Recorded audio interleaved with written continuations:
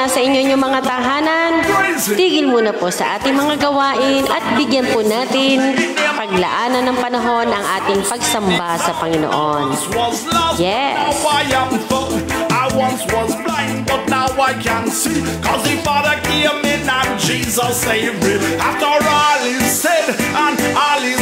Yes.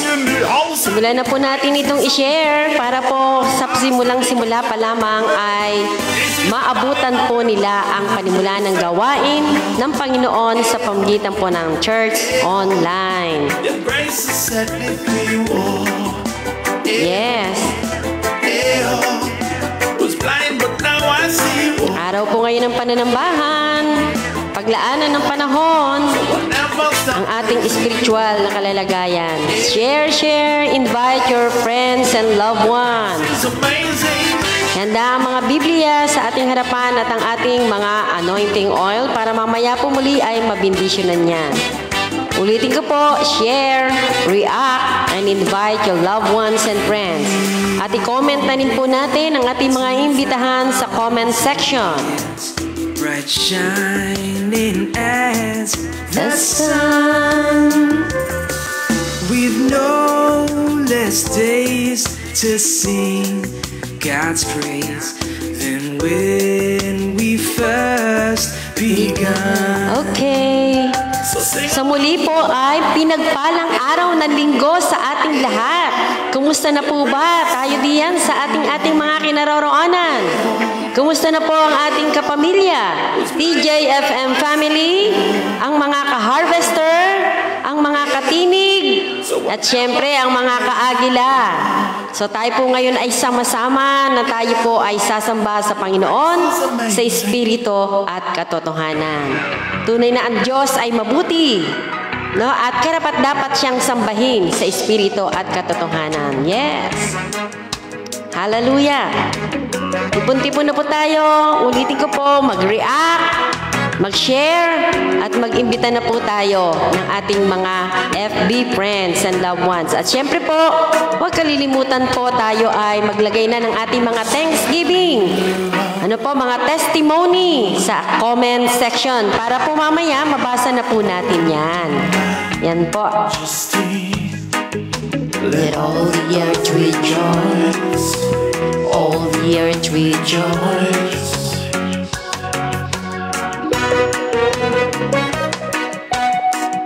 Buksan ang ating mga cellphone para po tayo naka-online na din. In light and dark Yan po. to high. And trembles, Go, go, go. Share, share, share. it trembles at his voice. Yes, you're great. How great is our God. Sing with me. How great is our God. And oh, see how great, how great is our God. Yes. Mag-type na po tayo sa comment section ng ating pong mga testimony para po mamaya ay hindi na po tayo ah, ah, magpasimula. Kaya ang iba po ay hindi po nababasa lahat kasi nga po ay late na nating nailalagay ang ating mga pasasalamat sa Panginoon. Siyempre po, ang Lord ay naghihintay ng ating pong mga pasasalamat. Kaya po tayo ay mag-type na rin po ng ating mga Thanksgiving. At narito po ang ating mga staff para po ah, mabantayan yung inyo pong mga na-type na testimony. Para mamaya po ay ating babasahin po yan isa-isa. Yes po. Siyempre, yung mga nagbigay ng reflection kaninang umaga, Maaari pong tayo ay makapili random ng mga testimony mula po sa reflection kaninang umagang daily Bible verse na isinend po sa atin ni Tatay Pastor. Okay, get ready na po. Handa-handa, wakan na po natin ang ating mga Biblia.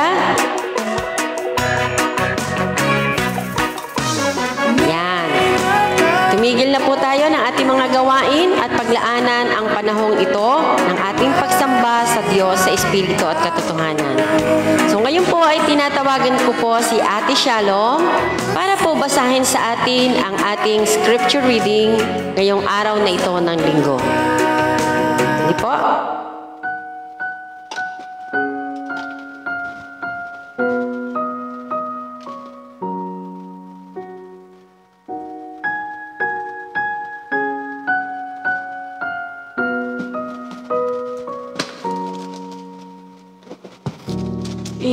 So, pinagpalang Sunday po sa ating lahat.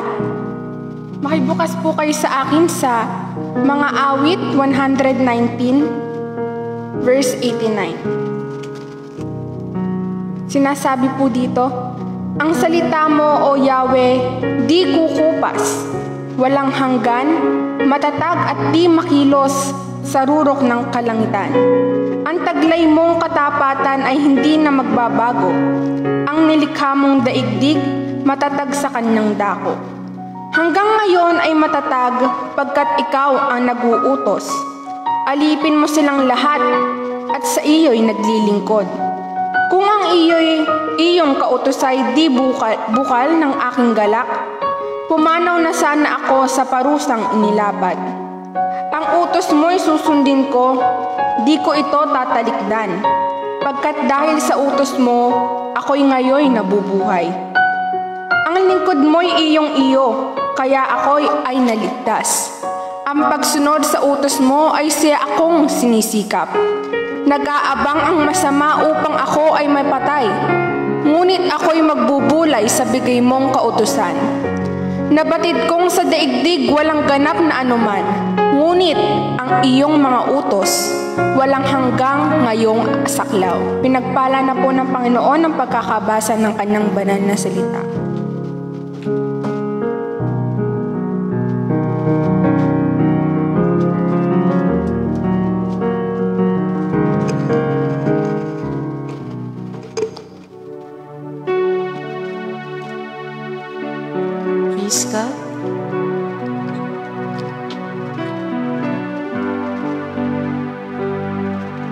Po natin i-welcome ang Banal na Espiritu. Nasaan man po tayo. Spirit Jesus. We welcome you, Holy Spirit, in this place, Lord. We praise your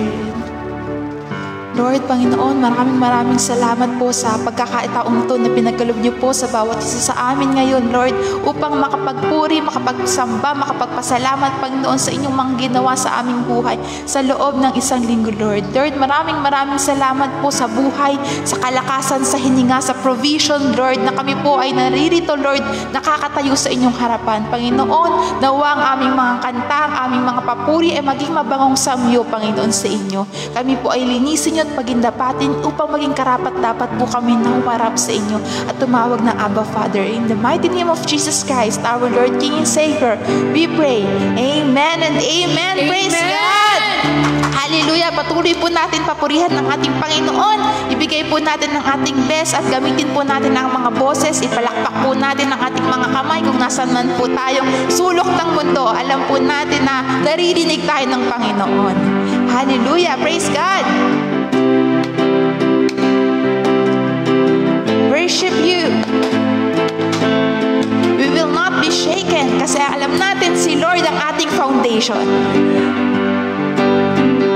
Here in this house of the great King, we come together now to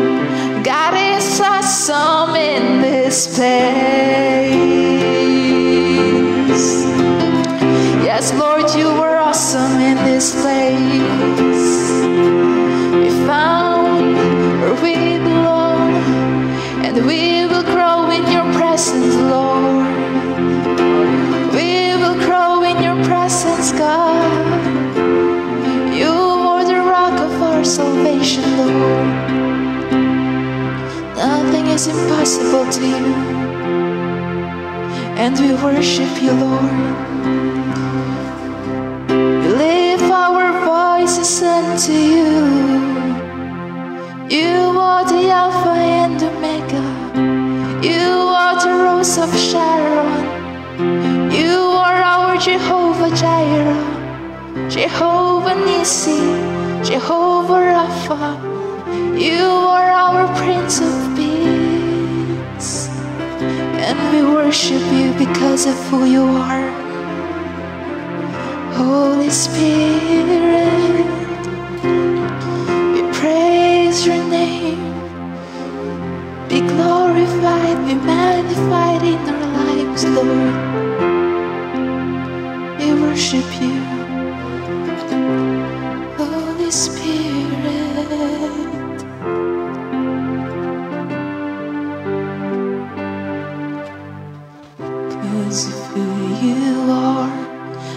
give you glory because of who you are. I'll give you praise, and because of who you are, I will lift my voice and say, Lord, I worship you because of who you are. Because of who you are, I'll give you glory. Because of who you are, I'll give you praise. And because of who you are, I will lift my voice and say, Lord, I worship you because of who you are.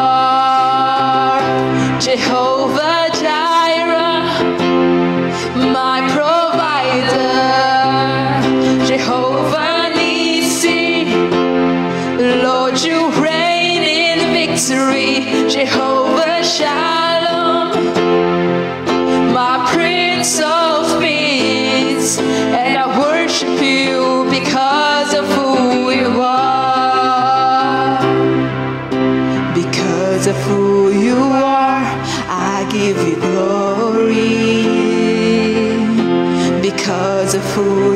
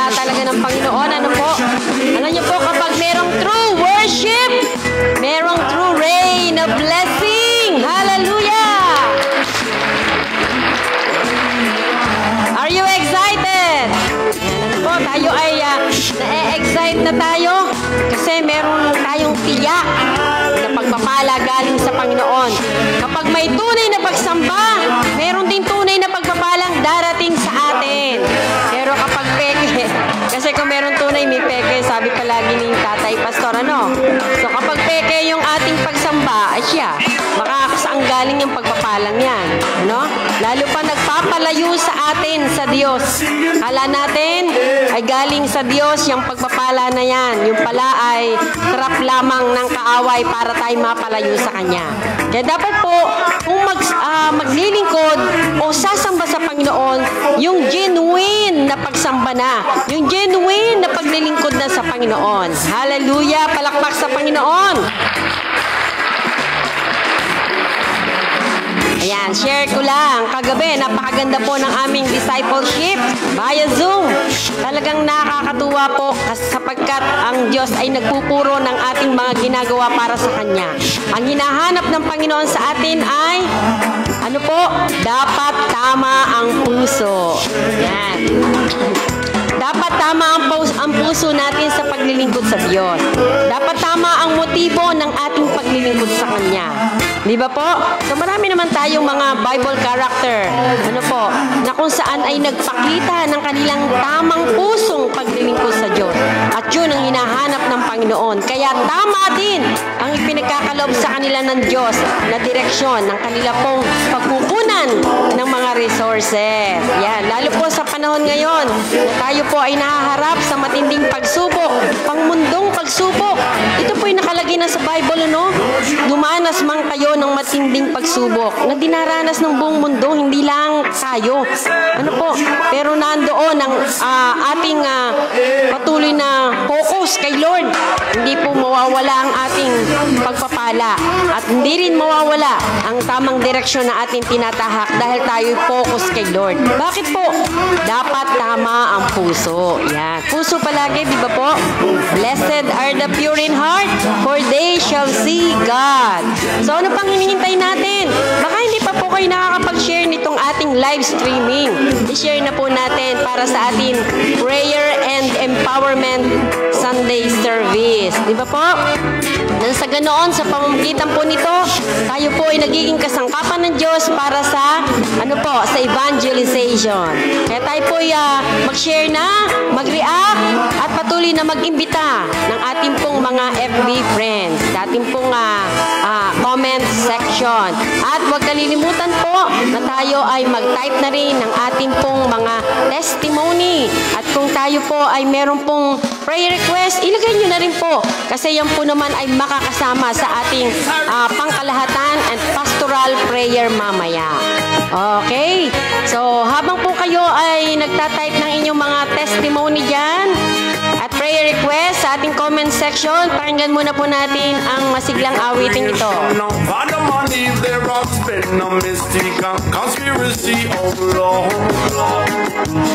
From the fire above.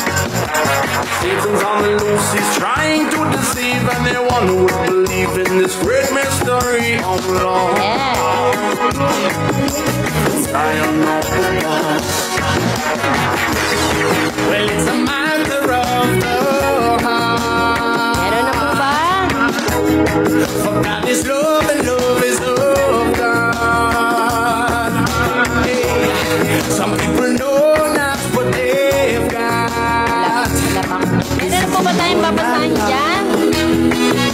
testimony, even reflection kaninang umaga. Ayan. Hallelujah. Amen. Ang sabi po ni Sister Remy Miranda ng Dolores, Quezon. Ayan, purihin ng Panginoon. Ating mga TJFM family, Tagkawayan Quezon, Pastor Eddie Hernandez. Yan po sa kanyang may bahay, si, si Pastora Wally Hernandez. God bless you po mga taga-Tagkawayan Quezon, TJFM family, at sa kanilang mga magagandang mga anak, si Erica at si Angel. Okay, ang ating pong mga TJFM Kamsur sa pamumuno po ni Pastor eh, Pastor Al Hernandez. Yan po at ang ating pong mga co-pastors sa lugar na yon. Pastora Chin, Pastora Apin, Pastora Lorna, and Pastora Adele. At ang ating mga elder dyan sa church. Happy Sunday! Blessed Sunday po sa inyong lahat. Okay. So, ang ating pong pasasalamat sa Panginoon, Unang-una po ay ako'y nagpapasalamat sa Diyos dahil itong ah, nakaraan ay talagang nar- naramdaman ko po ang pagsama ng Panginoon sa akin. Ano po, sa akin pong pagtawid na naman. May nangyari na naman sa akin. Sa pagtawid ko po papasok sa eskwelahan. Kasi po kami ay required na mag-report ng two days a week sa aming school. At sa pagtawid ko po, hindi ko po napuna na meron pong nasa likuran ko palang Um, bike, po, pero syempre kahit bike yan at hindi mo na ano, talagang mapapasaan ka din. Eh bigla pong sumulpot ako'y tatawid na. Ay nasa likuran ko, mali naman po ang kanyang direksyon. Pero salamat sa Lord dahil haging lamang ng hangin ang akin pong naramdaman. Ano po, at ako po'y nakatawid ng maluwalhati. So, yun po lagi ang aking tuwing umagang kinakaharap pag po ako ay papasok sa school. Tatawid lang naman. Yung pagtawid na yon na talaga, ewan ko baga, bakit ganon? Nung minsan, nakaladkad naman ako ng tricycle, pero ang aking uniform ay, ay ano, pilas. Kung magkasano, eh, na biak na yung aking uniform. Pero napuna ko po, Siyempre kapag ano na yero kasi yung nakadali eh. Kargahan ng, ye- ng yero, alam naman natin na yero, matalas yan. And yung akin pong pantalon na uniform ay talagang wakwak. Pero wala akong kagalos-galos. At nung na-CT scan at x-ray, wala po. Kaya umuwi din ako ng araw na yon. At ang ah, pastor, naawa pa doon sa nakabangga sa akin. Siya pa po naming natulungan. Alam ganun. Kasi po ay kaya pala siya nagmamadali, ay kailangan maibenta niya yung mga hinakot niyang yero. Ano po, at dahil may mga apo na nagiintay na kakain. Sa, kaya po, dahil sa awa ni Tatay Pastor, siya pa po ang tumulong doon po sa nakabangga sa akin. Dahil ako naman po sa awa ng Diyos, kahit nakaladkad ay wala po talaga akong kagalos-galos. Ibig sabihin, ako po ay sinamahan ng Angel of God at covered ng blood ni Jesus. Amen! Puri ng Panginoon. Ayan po. Kaya kapag po tayo ay lumalabas ng bahay, palagi po tayo munang mananalangin. Dahil hindi natin alam ang ating kakaharapin sa daan. May mga ah, nagnanais ng masamang mangyari sa atin, lalo na ang kaaway na si Satanas, gusto lagi tayo mapahamak. Pero kapag po tayo ay covered ng blood ni Jesus through prayer, ang Diyos po talaga ay nag-iingat. Kaya kung nangyari man yun sa akin, na ipakita lamang ng Panginoon na siya ay Diyos na makapangyarihan. Amen. Praise God. Purihin ng Panginoon. So, yan po. Pagpapakilala lang yun ng Diyos dahil meron palang taong nangangailangan. Ano, may taong nangangailangan ng tulong ni Tatay Pastor. Kaya yun po, yung pamilyang yun ay natulungan pa po ni Tatay Pastor, yung pong ah, pamilya ng nakabangga sa akin. God is good all the time. Yan ang puso ng mga totoong Kristiyano. Dapat tama ang puso, kagaya ng discipleship kagabi. Ito po'y babasahin ko mula sa isang reflection ni Pastora Lorna Tayabas de los Santos ng Del Gallego, Camsur. Basahin natin. Yan. Blessed Sunday po, tatay and family. Maraming salamat po sa mensahe today. Ako po ay patuloy na nagpapasalamat sa buhay ng Diyos sa patuloy na pagsama sa anumang laban na dumating sa amin. Tunay na nakagagalak ang ginagawa niya sa aking buhay. Sa patuloy po na pag-attend ng programa ng TJFM Family sa pangunguna ni Tatay ay pinatatatag ang at pinatatapang ang harapin ang hamon sa buhay. Ang moto ko bilang mananagumpay habang nasusugatan, lalong tumatapang, no retreat, no surrender. Ika nga ang sabi ni Pastora Lorna. Purihin ang Panginoon, sealed by the blood of Jesus. Sabi nga po niya, ay, ah, ah, this is the day that the Lord has made. I will rejoice and be glad and serving the Lord. Yes po, I claim His promises as a harvester. I will harvest the best fruits, all aspects of my life po. To God be all the glory. Praise God. Tunay na ang Diyos ang mapapurihan sa buhay po ni Pastora Lorna. Ang dami pong mga naging ah, hamon na kinaharap po niya at kanyang pamilya. Pero still, nakatatayo. Ang kanyang motto, ha, ano sabi niya? Ang sundalo kapag nasusugatan, lalong tumatapang. Amen. Puri ng Panginoon sa buhay ni Pastora Lorna. So, isa pa po, mula rin po ito sa Kamsur, Sister Cecilia Panganiban. Blessed Sunday morning po, tatay and family. EJFM family. Salamat po sa mensahe ngayong umaga na nagre-remind sa akin na anumang sitwasyon ng buhay ko, gawin ko at sundin ang kalooban ng Lord nang may tiisin. May tiisin man, kailangang magsakripisyo. Kaya patuloy po akong susunod sa kalooban ng Diyos. Salamat po. Glory to God. Amen. Oh, wala naman po siguro ngayon sa mga panahon ngayon, ano? Wala na yatang mga ah, tao na hindi humaharap ngayon sa matinding pagsubok. Ano, ang kagandahan lamang kapag may salita tayo ng Diyos, meron tayong ah, lakas sapagkat ito ang kapangyarihan ng mga Kristiyano, ang sandata ng mga Kristiyano sa pagharap sa mga problema at pagsubok sa buhay. Iba po, palakpakan po natin muli ang Panginoon.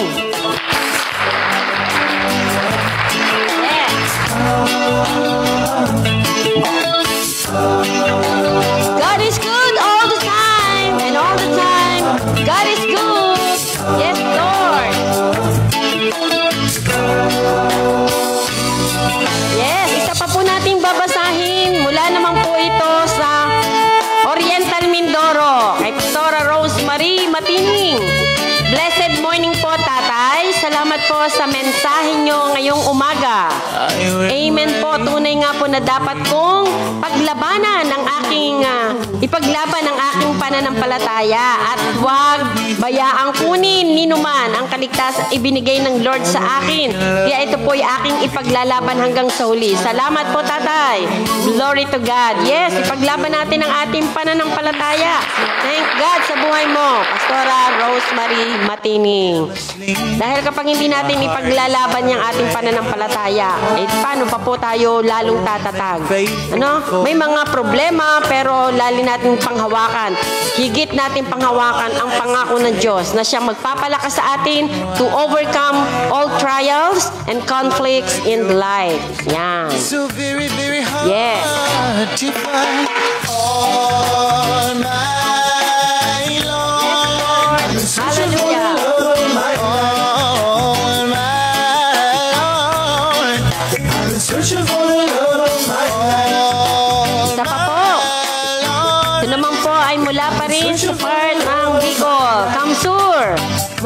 salamat po sa mensahe ng Diyos. Ang sabi po ni Sister Telma and Daya.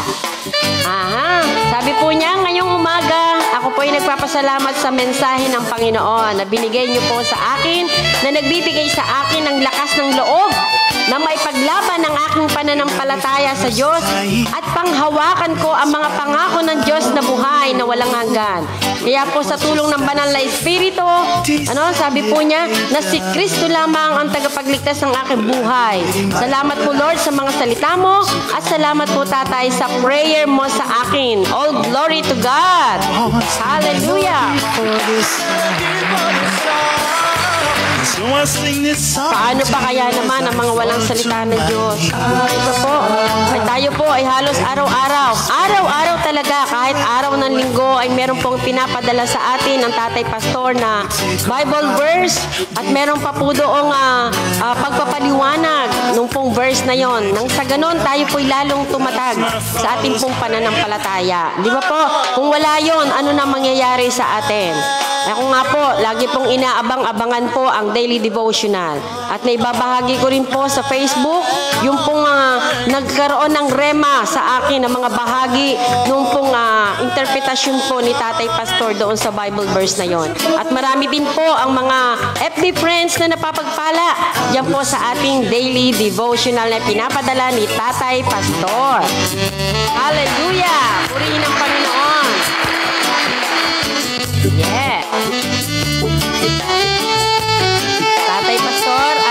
sasayaw na dito.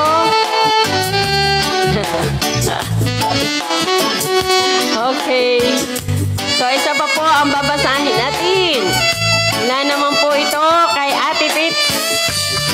Tatanyo.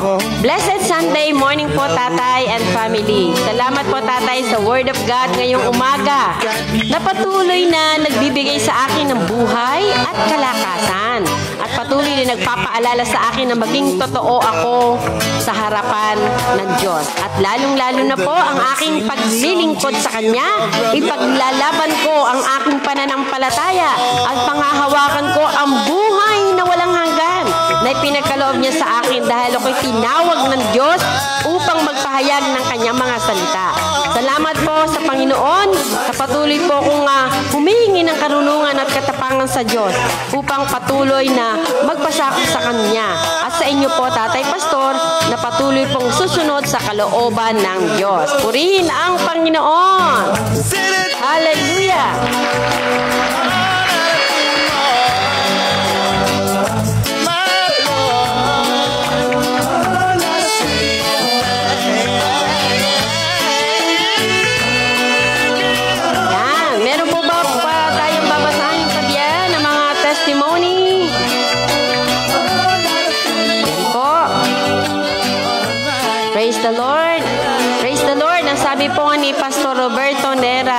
bless po, Pastor Obet. Yan po, si Pastor Obet. Nakasama po namin yan sa misyon sa Masbate. Yan. God bless you, Brother Obet o Pastor Obet.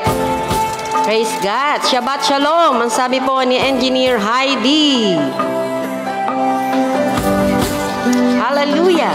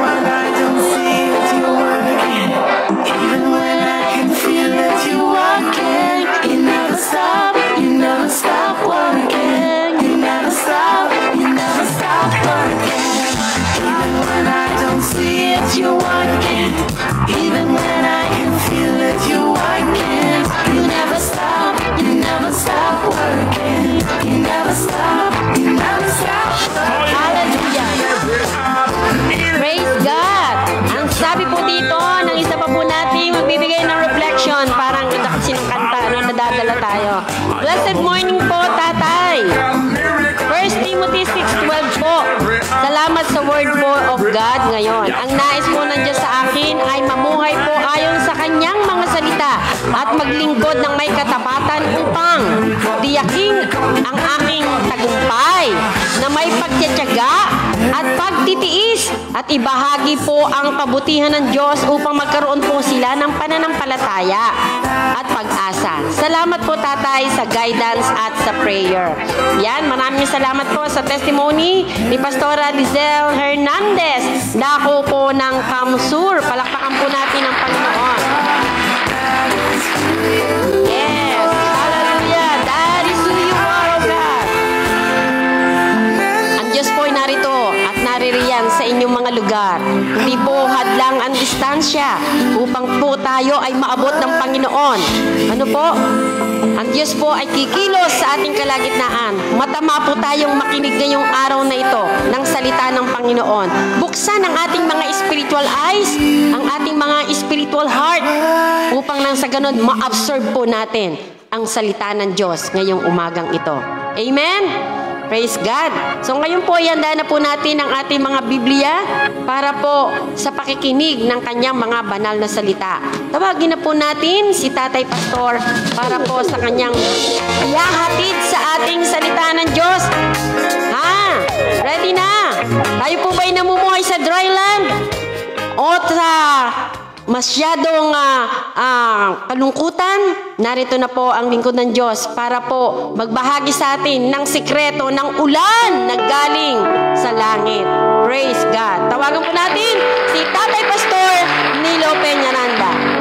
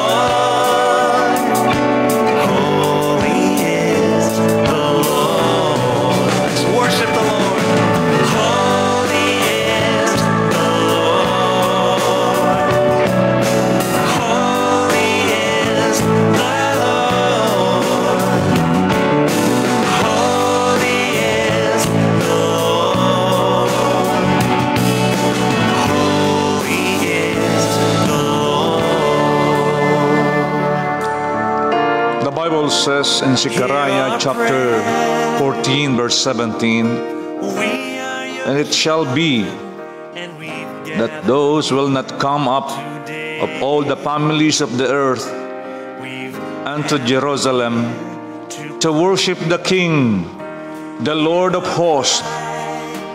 Even upon them shall be no rain. I repeat for the word of God about worship in Zechariah 14 verse 17. And it shall be that those will not come up of all the families of the earth unto Jerusalem to worship the King, the Lord of hosts, even up them shall be no rain. Alinmang bansa ang hindi sumasamba sa Diyos na makapangyarihan sa lahat, ang hari ay hindi makakaranas ng ulan. If there's no worship, there is no rain of blessing. But if there is true worship, there is rain of blessing. Receive the rain of blessing because I believe that you are a genuine and true worshiper of the Lord, the living God, Almighty God. Praise be to God. Palakpakan natin ang Panginoon. Glory.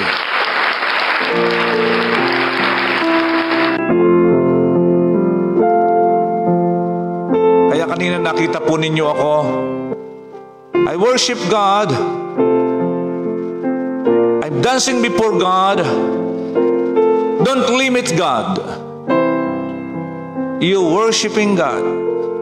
And I believe genuine worship, that true worship comes from the heart. Wherever you are, nasa kwarto ka, nasa church ka, nasa auto ka, nasa jeep, nasa ibang bansa, nagtatrabaho ka, nasa kusina ka, nasa bahay mo, nasa field ka, nasa bag, sa, sa, sa, sa dagat, sa bukid ka man, wherever you are, if we have a heart of worship before God, we worship Him in spirit and in truth. So don't limit God to worship Him because God is seeking a true worshiper. And I believe that you are a true worshiper. According to Gospel of John, God is a spirit, so we must worship Him in spirit and in truth. That's why you will see earlier I dancing before God. Like David. Kahit sinabihan niya para siyang si Raulo. He dancing before God. He clapping before the Lord. Lift up the voice and raise his hands before God. Itinataas niya ang kanyang kamay sa Panginoon. Kahit pagod na pagod siya Pumapalakpak siya sa Panginoon, sumasayaw siya sa Diyos, itinataas ang kanyang tinig para sa Panginoon. Saan man siya naroroon, galing man siya sa gyera. Kaya naging malapit ang puso ng Panginoon kay Haring David. Mga minamahal, ang Diyos ay naghahanap ng tunay na papuri at pagsamba. At kapag natuklasan po natin ang sekretong yon, I believe the rain of blessing will flow upon your hearts. The rain of blessing will come down from heaven into your family, into your house and home, in your business, in your career, in your schooling, in your physical body. Even our body is weak. There is sickness and disease.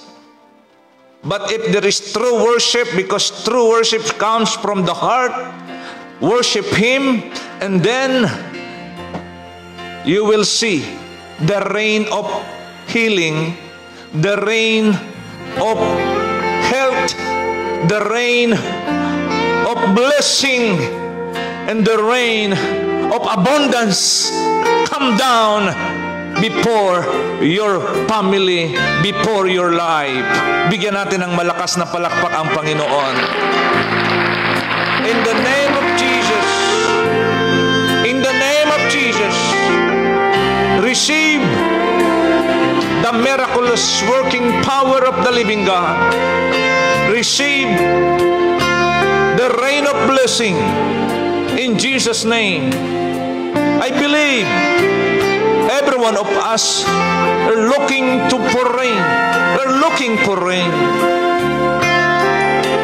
Pero according to this verse and Zechariah 14 verse 17, sa wikang Tagalog para mas malinaw, at alinmang bansa, alinmang tao, alinmang sambahayan ang hindi sumasamba sa Diyos na makapangyarihan sa lahat, ang hari.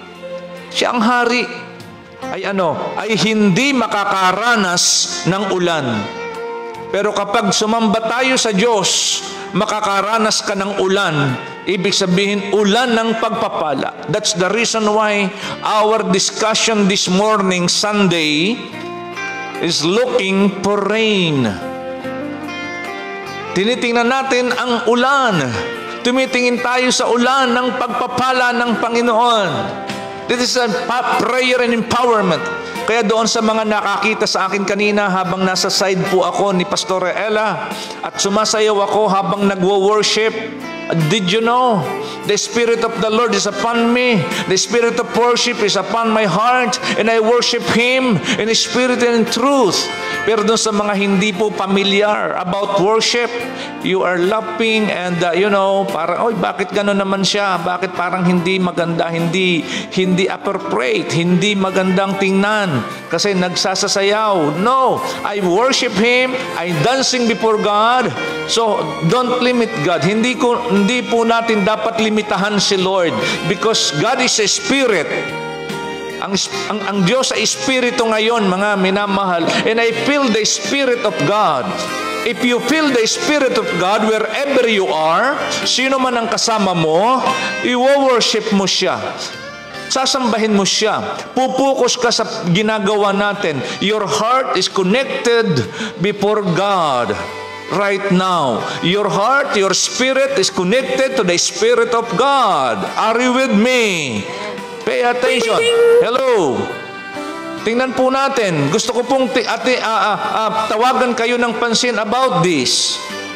Because alam ko saan man kayo naroroon, kapag ang kaaway ay gumalaw, may distraction. Hindi kayo makakapokus kay Lord, no? Maraming gagawin, maraming uh, paghuhuga, huhugasan ng pinggan, nandoon kayo kung saan-saan, no? Kaya marami pong mga mga fellowship at mga simbahan ngayon na uh, nananawagan na talagang uh, at mayroon na nga pong 50% na magkaroon na po ng uh, gathering, no, pagsamba o pagsimba sa kani-kanilang mga simbahan para hindi mawala, ano? Pero alam po ninyo, Sinasanay po tayo ng Panginoon, no? Na tayo po saan man dako, tayo po pwedeng sumamba. Pero, take note, maganda pa rin po kung may pagkakataon tayo, wala naman pong uh, uh, kinakailangang uh, ika nga po ay uh, distraction, pumunta po kayo sa inyo inyong mga simbahan. Pumunta po kayo sa inyo inyong mga katedral, sa inyong pong mga kapilya. Pumunta po kayo sa inyong mga tuklong. Pumunta po kayo sa inyo pong mga church, mga center, mga fellowship center, sa inyo pong mga mosque, sa inyo pong mga sa inyo pong mga bahay sambahan para mag ika nga po ay gathering together, together togetherness, no, yung pagiging oneness ng bawat isang pamilya ay maramdaman po natin at maramdaman po ninyo. Okay? So for me, kami po ay nakahandang mag-serve sa inyo to to deliver the message of the Lord. Hindi po natin yan ah, hindi po natin yan ah, ah, inaalis, hindi po yan ah, doctrinal na ay bawal na, huwag na tayong pumunta, okay na dito. Kundi kami po ay may design na lahat po ng mga katinig Ah, TGFM family, ka-classmate ko at mga kamag-anak, lahat po ng mga kaibigan ay ah, kung kayo po ay may pagkakataon na pumunta ng simbahan o ng sambahan, ng kapilya, ng tuklong, sabi nga sa Batanggenyo, ay ah, pumunta po tayo ng fellowship center. Pumunta po tayo. No, wag po nating gawing alibay na ay ako naman ay naka-attend na sa live streaming. Ako ay naka-attend na sa gawain. Ano, puntahan po natin. Iba pa rin po yung mayroong pong kamayan kayo ng inyo pong mga kasamahan. No? So, maliwanag po ba yon? Palakpakan natin si Lord. Iba pa rin po yung mayroon po kayong sama-sama no na kumustahan may eating fellowship mayroon po nga kung anong mapapagsalusaluhan diyan no ay uh, mayroong ngiti sa labi at uh, nagdadaglag nagdadagdag lakas po ito pong ginagawa natin is preparation for worse kung ano man ang dumating. At least alam natin kung paano tayo ma- ma- mamuhay. Mayroon mang pandemic o walang pandemic, may gera man o walang gera, no, pwede tayo. Because yung salita ng Panginoon, yung tunay na relationship natin nasa puso natin kay Lord. Pero kapag may pagkakataon, uulitin po natin. Kung may pagkakataon po kayong pumunta, ano po, katulad po ng mga taga TGFM family, mayroon po tayong gawain, ano, may morning na gawain sa Mindoro. Mayroong gawain po sa dako po ng uh, Quezon, sa Del, sa Del Gallego, sa sa Bicol. No po, may mga gawain na po tayo diyan. Puntahan po ninyo. Mayroon po sa Batangas, no? Diyan po sa San Jose. Okay, mayroon na po tayo mga gawain diyan sa Darasa. Okay, mayroon po tayo diyan. At the same time sa Talaga. So, may mga gawain na po ang, ang, ang, ang Panginoon sa atin. So, gathering, ano, sabi nga ng Hebrew, huwag ninyong kaliligtaan ang pagdalo sa mga pagtitipon. So, if ever na mayroon po tayong uh, pagkakat, huwag natin gawing excuse, ayun, naka-attend na ika ako. Ganon. So, mahal tayo ng Panginoon, gawa natin din ang paraan, mahal natin ang Diyos. Pero kung mayroon pong, kung hindi, at wala po tayong pagkakataon, alam naman natin yan sa ating mga sarili. Okay, naririto po ang tinig ng pananampalataya at pag-asa. Kaya ang TGFM family, china-challenge po natin, ito po ay pagkain espiritual ngayon, yung gathering po ninyo sa physical ay pagkain ng uh, ika nga ay horizontal o vertical. Ano po? Uh, fellowship vertical. Okay. Horizontal. Okay. Ang ang vertical po ay pataas, ano ho? Sa Lord 'yon relationship. Uh, yun po ay uh, uh, ano po uli yun? Pagpataas? Vertical po yun. Uh, vertical relationship mayroon naman po tayong horizontal relationship. Yung horizontal relationship, yung kapwa natin, yung kapwa natin, i-fellowship natin. Yung vertical relationship natin, ay kay Lord. Okay, relationship natin kay Lord sa pamamagitan ng live streaming. Na kahit saan po kayo naroroon, pwede po kayong makaramdam ng kilos at galaw ng banal na espiritu. Mararanasan niyo ang kagalingan, mararanasan po ninyo ang kapayapaan sapagkat mayroon po kayong tinatawag na vertical relationship kay Lord. Okay? Pero kung may pagkakataon po kayo, bisitahin po ninyo, pumunta po sa mga gawain, ay mayroon naman pong horizontal relationship. Are you with me? So yan po ay pagbabalanse. Balance po ang inyong tatay pastor pagdating sa mga bagay na ito. Okay? At mag-ingat lang din po naman tayo. Uh, observe pa rin po tayo sa tinatawag nating mga protocols na ibinibigay sa atin ng government. At the same time, yung physical distancing.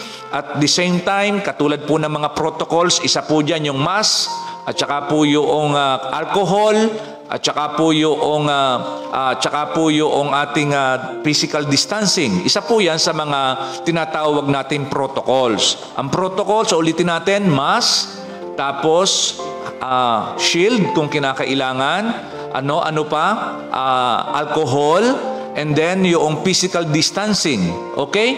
Protocol po yon. Buong Pilipinas pa po yon. Okay? Bagamat mayroon pong mga tao na hindi na nag-o-observe halos, pero alam po ninyo, um, nasa huli lagi ang pagsisisi. Walang masama po sa nag-iingat no, para din naman po sa kalusugan po natin. Uulitin po natin, balanse po tayo pagdating po nandito pa tayo sa lupa, pero number one, si Lord pa rin po ang ating itinataas dito. Si Lord lamang ang ating itinataas. Number one po yan. Ah, God above all. Palakpakan natin si Lord.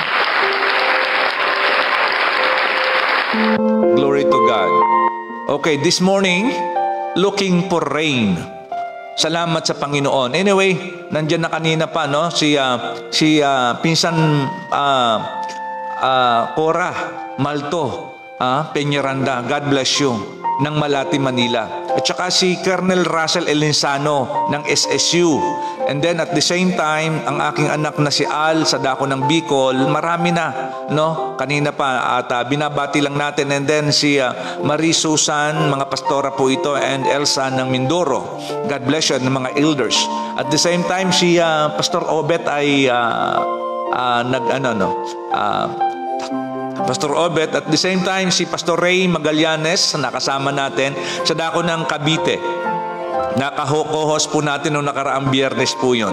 God bless you sa ah, GMA Cavite.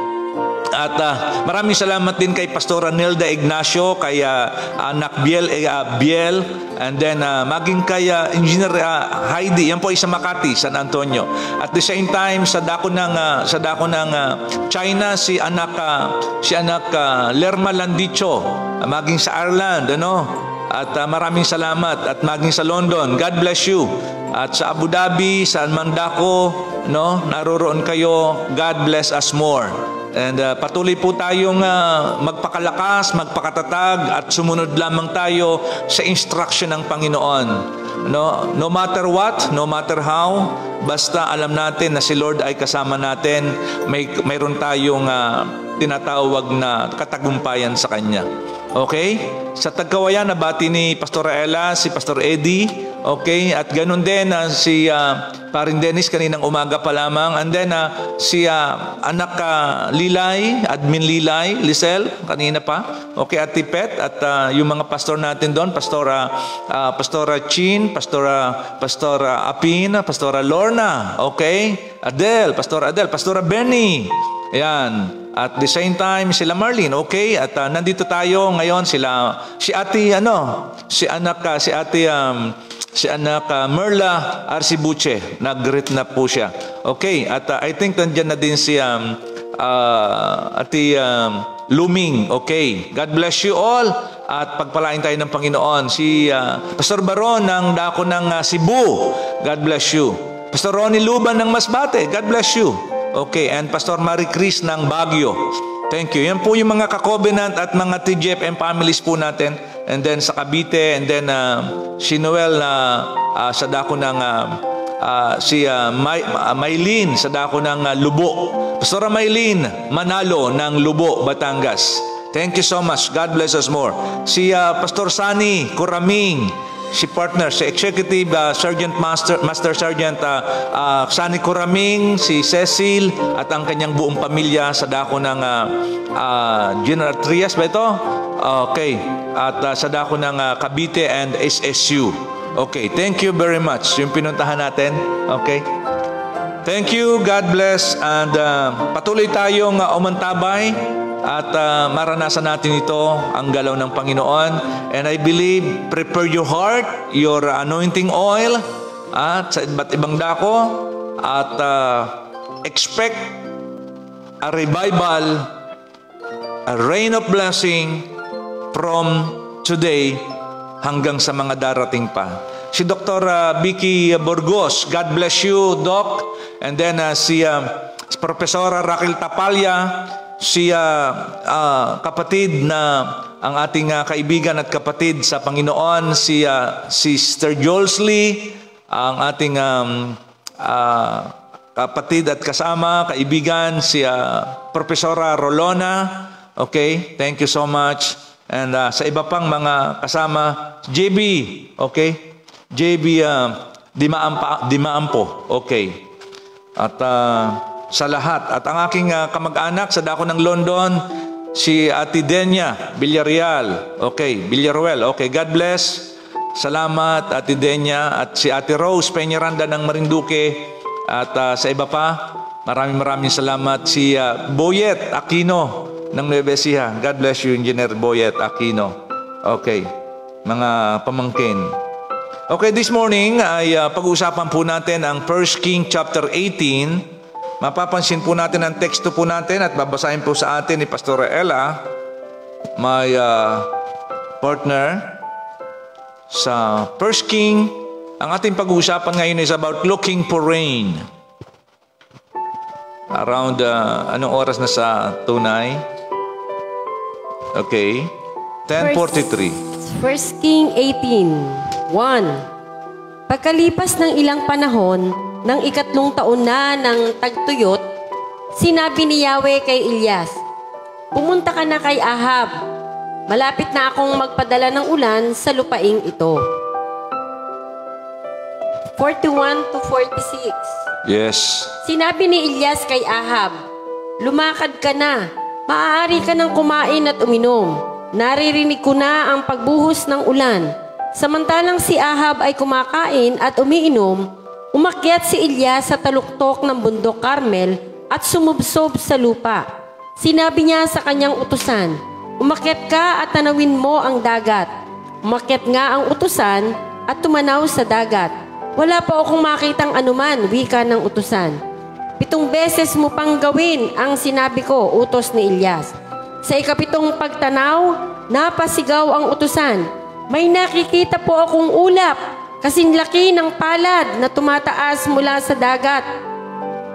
Magmadali ka, sabi ni Ilyas. Sabihin mo kay Ahab na ihanda ang kanyang karwahe at umuwi na agad. Baka siya'y hindi makaalis dahil sa ulan. Hindi nagtagal at nagdilim ang langit sa kapal ng ulap. Lumakas ang hangin at biglang bumuhos ang malakas na ulan. Sumakay si Ahab sa karwahe at nagmamadaling nagtungo sa Jezreel. Lumukob kay Ilyas ang kapangyarihan ni Yahweh. Hinigpitan ni Ilyas ang pagkakatali sa kanyang damit at tumakbo sa unahan ng karwahe ni Ahab hanggang sa pagpasok sa Jezreel. Grabe. Ang Diyos ang magpala sa kanyang mga salita. Yes. At patuloy na maranasan natin looking for rain. Once again. Tinan po natin si Elias, ano? Met natin si Elijah. A mighty prophet of God, a mighty man of God, a general of God in the Old Testament. In the First King, chapter 18, makikita po natin. Sino ba itong si Elijah o si Elias? Ano, sino ba ito? Alam po ba niyo hindi ito namatay? No? Sabi po ng 2 King chapter 2 verse 11. Anong sabi niya? 2 King chapter 2 verse 11. Tingnan po ninyo kung ano nangyari kay Elias. Patuloy silang nag-uusap habang naglalakad. Walang ano-ano'y pumagitna sa kanila ang isang karwahing apoy na hila ng mga kabayong apoy. Mm. Nagkahiwalay sila at si Ilyas ay iniakyat sa langit sa pamamagitan ng ipo-ipo. Amen ba? Palakpakan natin si Lord. Tingnan po ninyo, si Elias, ano nangyari kay Elias? Hindi siya namatay doon, hindi siya namatay. Siya po ay iniakyat ng Diyos sa langit. At kitang-kita yun ni Eliseo. Di po ba? At iniakyat siya sa langit ah, sa pamamagitan ng ip- Karwahing apoy. karwahing apoy. At yung ipo-ipo ang nag-akyat sa kanila. Wapo niyo, yung karwahing apoy, the chariot of fire, ay isinikay si Elias at iniakyat sa langit sa pamamagitan ng ipo-ipo. At yun ay kitang-kita ni Eliseo, yung kanyang disciple, yung kanyang tinirain. Grabe. Palakpakan natin muli ang Panginoon. Yan po yun.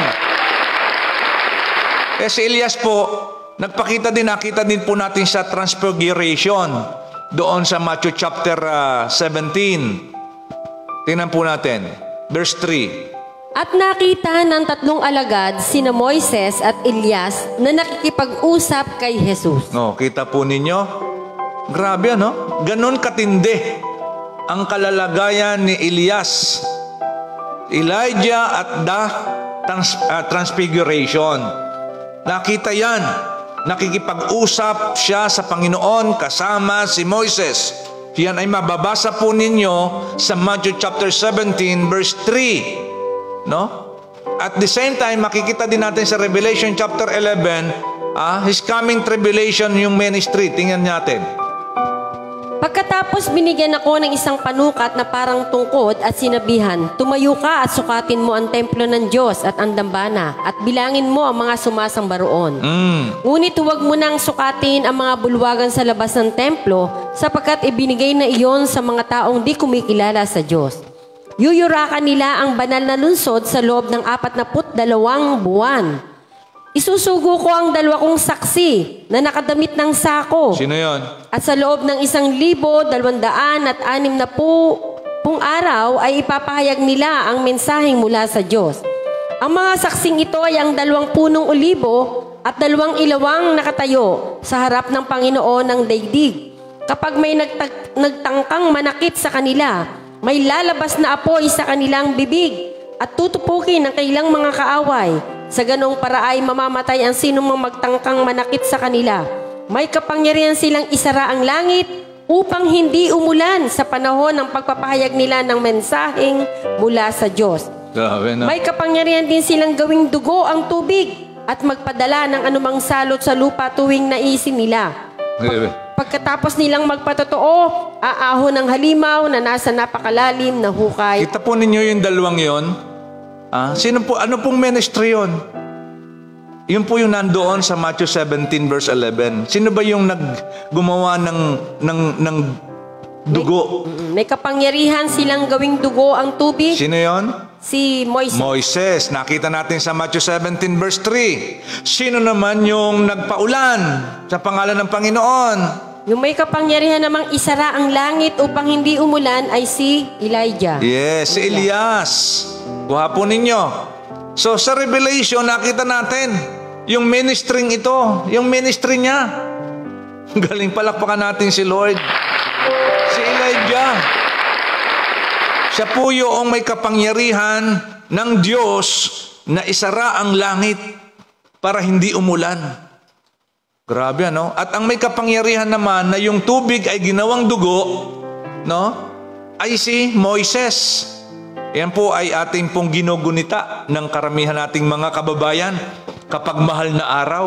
Yang mga yang tubig na yan ay ginagaw, ginawang dugo ng Panginoon sa pamamagitan ni Moises. So Elijah, ah, yung kanyang mga propesiya, yung kanyang propesiya na ano, natagtuyot sa 17 verse 1. Chapter 17 verse 1. Si Elias sa isang propetang taga-Tisbe sa Gilead, sinabi niya kay Ahab, Saksi si Yahweh, ang buhay na Diyos ng Israel, na aking pinaglilingkuran. Hindi uulan, ni hindi magkakahamog sa mga darating na taon hanggang hindi ko sinasabi. Buha po ninyo, hanggat hindi ko sinasabi, sabi ni Elias. Siya po ay nagsalita, siya ay nagpropesiya, siya po ay inihulan. Inihulan niya, excuse me. Sabi ng Panginoon, sabi niya, sinasabi niya, ha? Saksi ko ang Diyos, ang buhay na Diyos ng Israel na aking pinaglilingkuran. So Elias is a servant, Elijah is a servant of God. Sabi niya, dineclared niya sa kanyang sarili, sa mga tao, saksi ko ang Diyos na aking pinaglilingkuran, hindi uulan, ni hindi magkakahamog sa mga darating na taon, ang haba noon. Hanggat hindi ko sinasabi, ambasador siya ng Panginoong Heso Kristo, ng Panginoong Diyos. Brother. At sinabi niya po yon kay King Ahab. No? Na hindi magkakaroon ng ulan. Si, si King Ahab ang sinabihan niya. Diba? Sa verse 1. Sinabi niya kay Ahab, si Ahab ay hari. Mga kaibigan, So Elijah had prayed for this drought sa James 5.17. Basahin natin. Si Elias ay isang tao na tulad din natin. Okay? Si Elias ay isang tao na tulad din natin. Yan po ay bagong tipa na sa, sa Santiago, sa James 5.17. Si, si Elias ay isang taong tulad din natin. Okay? Ano lang ang kanyang ginawa? Ay katulad din pala natin siya eh. Tao lang din siya. Pero anong nangyari sa kanya? Anong, may, anong mayroon sa Elias? Ito. Nang mataimtim siyang nanalangin, Yun. Mataimtim. Taimtim siyang nananalangin. Mataimtim siyang nanalangin. Dapat ang prayer po natin, yung mataimtim. Ibig sabihin ng mataimtim, yung galing sa puso, yung marubdob na panalangin ng si Elias ay marubdob na nanalangin, mataimtim na nanalangin, or galing sa pusong panalangin, hindi sa bibig lamang, hindi sa isip lamang, kundi nagmumula sa puso, anong nangyari? nang manalangin na huwag umulan, hindi nga umulan sa loob ng tatlong taon at anim na buwan. Tapo nyo, three and a half years. Nanalangin siya, marubdob siyang nanalangin na huwag umulan. At hindi nga umulan sa loob ng tatlot kalahating taon. Tatlong taon at anim na buwan. So makatuwid three and a half years na hindi nagkaroon ng ulan. Sa makatuwid, tama ang kanyang inihula. Yung kanyang sinabi, yung sinalita ng lingkod ng Diyos, yung sinalita ng, ng, ng, ng, ng tao ng Diyos ay makapangyarihan kapag ang kanyang prayer ay kanyang binigkas sapagkat siya'y marubdob na nanalangin. Ang sabi ng, again ng 17 ng James 5, ang si Elias ay Si Elias ay isang tao na tulad din natin. Tingnan po ninyo. Ang galing ano? Eh, sa makatuwid, anong pagkakaiba natin kay Elias? Taong tulad din natin. Katulad din mo, katulad mo din, katulad ko din. Ang pagkakaiba nga lang, lingkod siya ng Diyos. Di po ba? Lingkod ka ba ng Panginoon? Lingkod ako ng Diyos. Kung lingkod ka ng Panginoon, susunod tayo sa Diyos. Gagawin natin yung ipinagagawa ng Panginoon sa atin at mananalangin tayo ng mataimtim na panalangin katulad ng kay Elias at mangyayari ang iyong panalangin. Palakpakan natin ang Panginoon. Glory to God. Salamat sa Panginoon. So napakaganda ng talakayang ito mga kasama, mga kaibigan. No? And Ahab and Israel had forsaken the Lord. Di ba? Ano nangyari sa kanila? Nanapo niya. And then, dito na. Three and a half years. Hinanap nila ang Panginoon. Bakit? Wala. Ang Israel, nagpakumbaba. Three and a half years. Walang ulan. Kasi hindi nila hinahanap ang Diyos kapag masagana eh. Di ba? Wala. Kapag may pera ka, pag mayroon kang ah, masaga- magandang buhay, parang baliwala lang. Kapag mayroon kang trabaho, okay lang. Hindi dadalo, ganito, ganito. Mayroon akong nasasandalan. Ha? So, ang nais ng Panginoon, hanapin natin ang Diyos. Hanapin natin siya. At siya naman ay ating matatagpuan. Tuloy ko po sa No? 18. Tuloy. At nang siya'y nanalangin para umulan, bumagsak nga ang ulan at namunga ang mga halaman. Grabe, kita po ninyo? Kita mo yan? Nung siya'y manalangin, nanalangin siya, huwag uulan ng three and a half years. Okay?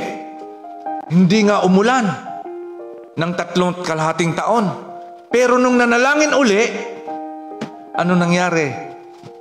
At nang siya'y nanalangin para ulan, bumagsak nga ang ulan at namunga ang mga halaman. Kita po ninyo, bumagsak ang ulan at namunga ang mga halaman. Babagsak ang ulan. Babagsak ang ulan ng pagpapala sa inyo. Mamumunga ang trabaho ninyo, ang negosyo po ninyo. If you believe, you shall receive. Amen! Hallelujah! Ganon kabuti ang Panginoon. Ganon kakapangyarihan ng Diyos. sa kanyang mga lingkod, sa mga naglilingkod sa Diyos, sa mga totoong lingkod ng Panginoon. If you believe, open your hearts before God, looking for rain, glory. So dito, mapapansin po natin mga kaibigan, mga kasama. The drought had brought a famine. Tandaan po ninyo, kapag may tagtuyot, may tagutom. May kagutuman. Kapag may tagtuyot, may kagutuman na nangyayari. Tuyot. Pag sinabing tuyot, alam po ninyo dahil dito sa ating pong mga pandemyang ito, tagtuyot na dumarating. Ano, halos napakaraming mga mamamayang Pilipino ang umiiyak. Hindi lamang Pilipino, kundi buong mundo. Nagkaroon ng tinatawag na economic breakdown. Nagkaroon ng tinatawag na pag-collapse ng ekonomiya pang mundo. Maraming mga kumpanya ang nagkakaroon ng mas layoff. Hindi man lahat, pero majority nawawala at talagang ramdam na ramdam ang nangyayaring kagutuman dahil po sa tagtuyot, dahil po sa pandemyang nararanasan ng mundo. Kaya tinawag pong pandemic, ibig sabihin ng pandemic, ito po ay pangmundong problema. Pandemic, ibig sabihin worldwide, global problems, global situation. Global po yan. Hindi lamang sa Asia, hindi lamang sa Amerika, hindi lamang sa Pilipinas, kundi sa lahat ng buong, lahat ng bansa, sa buong mundo, na nararanasan ang pandemic na ito, mga kasama. So dahil sa pandemic na ito, ano po ang nangyayari? Nagkaroon ng matinding impact sa ekonomiyang sitwasyon at pagkatapos kapag nagkaroon po ng economic problem and economic breakdown sa iba't ibang bansa sa buong mundo, ano po ang mangyayari? Tagutom, kagutuman ang mangyayari. Ibig sabihin, nagkakaroon ng tagtuyot. What next after the pandemic? Ano naman ang pandemic tungkol sa tinatawag nating COVID-19? Ano ang susunod? Walang makapagsasabi. But, tandaan natin, because we are on the last days, ah, tayo po ay nasa huling nasa huling panahon na, no, di ba? We are in, ah, nasa na, na, nandito na tayo sa huling kapanahunan, dapat natin pong makita na hindi po ito paganda ng paganda. Powers ng powers ang mangyayari sa magaganap sa mundo dahil manalapit na po ang pagbagsak ng kaaway na si Satan. Alam ni Satanas, alam ng demonyo na malapit na siya sapagkat malapit nang bumalik ang nangakong babalik at yun ay walang iba kundi ang Panginoong Heso Kristo. Maranata. Ang ibig sabihin ng Maranata, bumalik ka nawa Panginoon. Because nangako ang Panginoon na siya'y babalik. Kaya si Jesus ay babalik. Naniniwala po ang sinumang mayroon pong pag, pagtitiwala sa salita ng Diyos, ang sinumang totoong Kristiyano, that Jesus Christ is coming and He is coming very soon. At naririto na po yung mga palatandaan ng kanyang muling pagbabalik. Tingnan po ninyo, napakakonti na lang. Sabi nga po ng Bible sa Revelation, ang ang sweldo mo sa maghapon ay kasya lamang sa isang kilong sibada na iyong kakainin. Ah, isang sibada, ano po yung tin- tinapay? isang tinapay lamang po. Yan po ay sweldo mo sa maghapon ang pambayad. Kaya makikita po ninyo na talagang wala yung value. Pero, tandaan mo, ang good news, nandito ang salita ng Panginoon. Ikaw ay isi-secure niya. Pag-uusapan natin yan ngayon. Uulitin ko. Ha? Kapag may tagtuyo, may pagtagtuyot, may tagutom, may kahirapan, Okay? At yun po'y nangyayari sa maraming sulok. Magpasalamat ka kung hindi mo pa nararamdaman. Okay? Baka bukas-bukas mararamdaman mo na.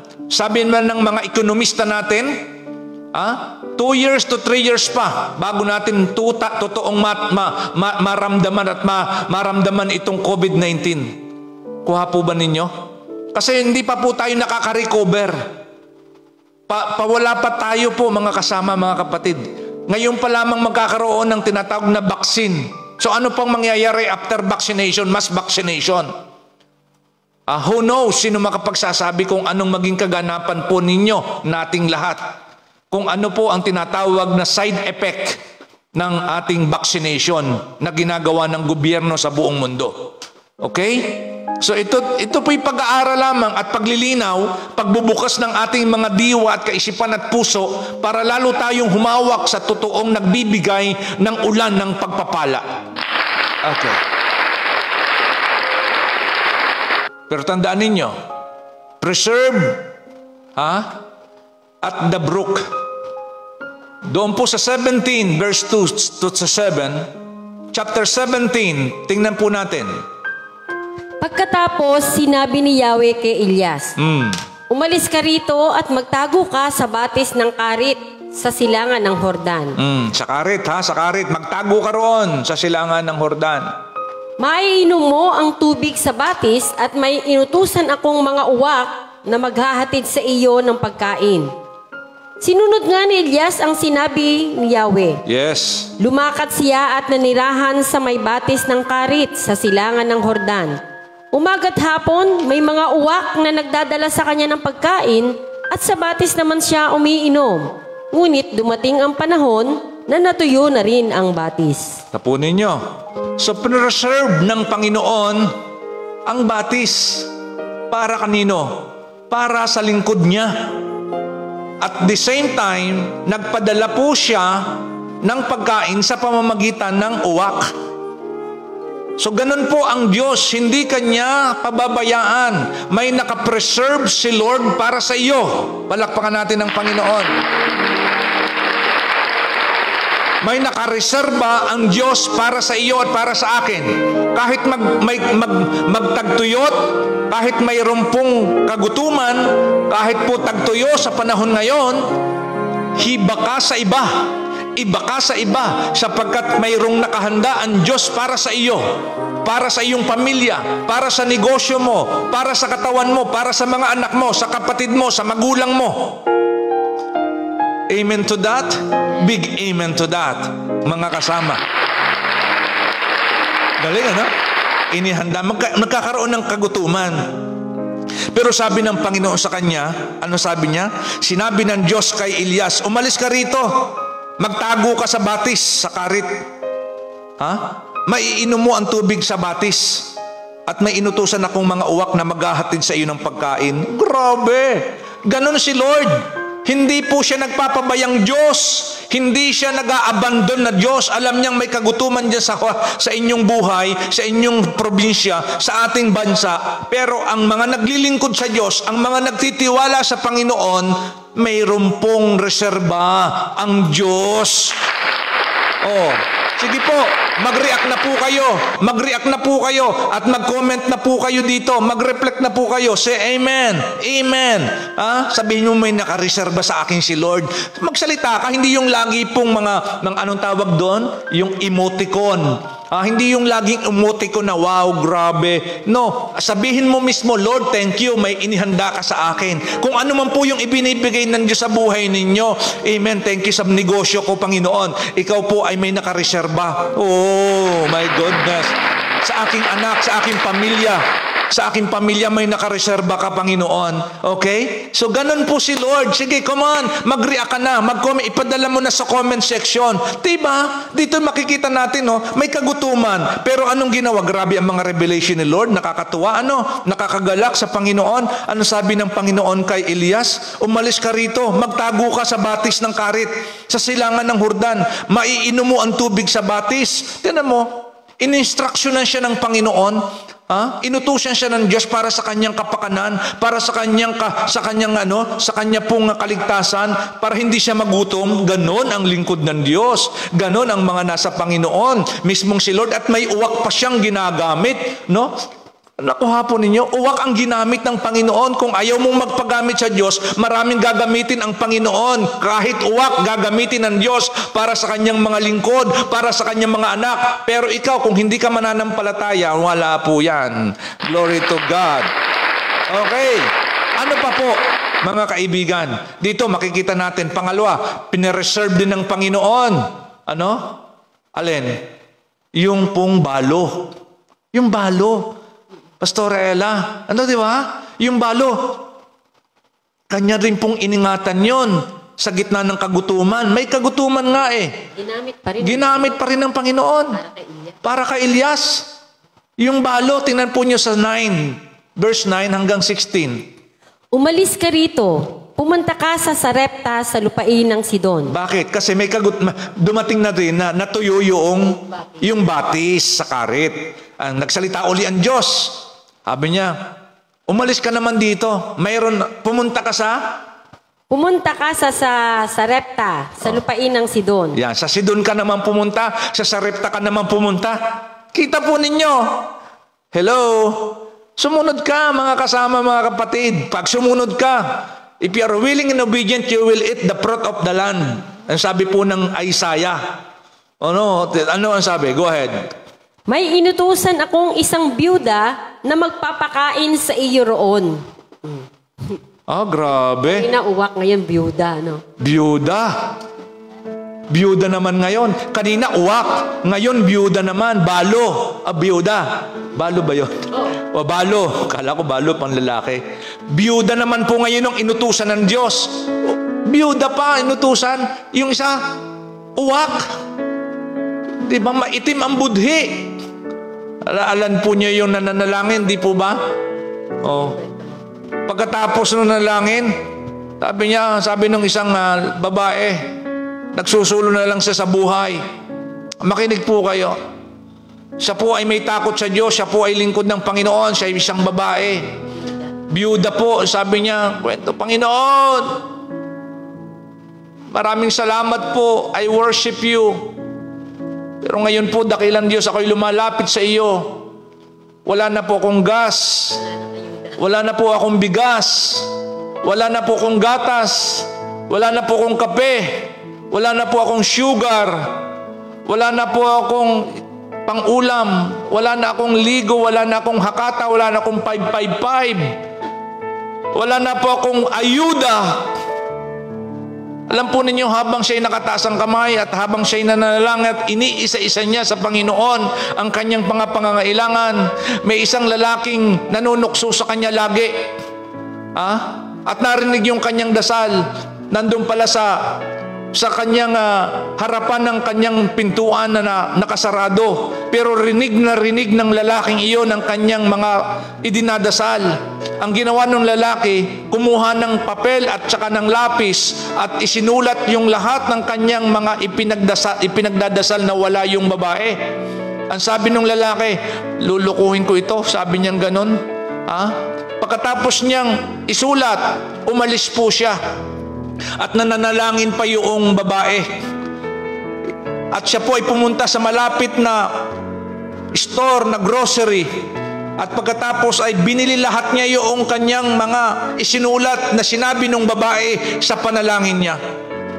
At pagkatapos dala-dala po, dala po at ah, nakalagay po sa isang malaking ah, lagayan, sa isang basket. Ano po? At talagang mabigat na mabigat. Ang laki ng binayaran niya. Inisa-isa po niya kasi yun eh.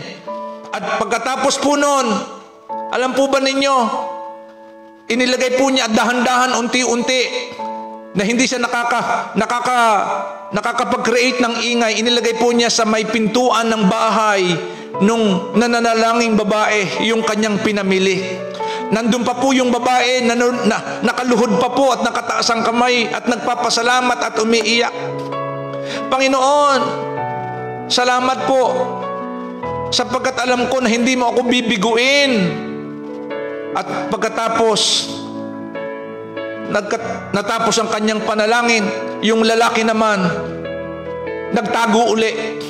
Pinakiramdaman kung anong gagawin ng babae. At pagkatapos ng babae tumayo at nung unang paglingon niya doon sa kanyang pintuan ay nakita kaagad niya nung bakbukas niya sa kanyang pinto, nakita niya yung napakaraming pinamili. Yung lahat ng kanyang ipinagdasal. Ah, walang labis, walang kulang, napakadami. Ay nandun. Grabe. Alam po ba ninyo, Nagmamasid lamang yung lalaking bumili. Yung nanunukso sa kanya. Yung nanguusig sa kanya.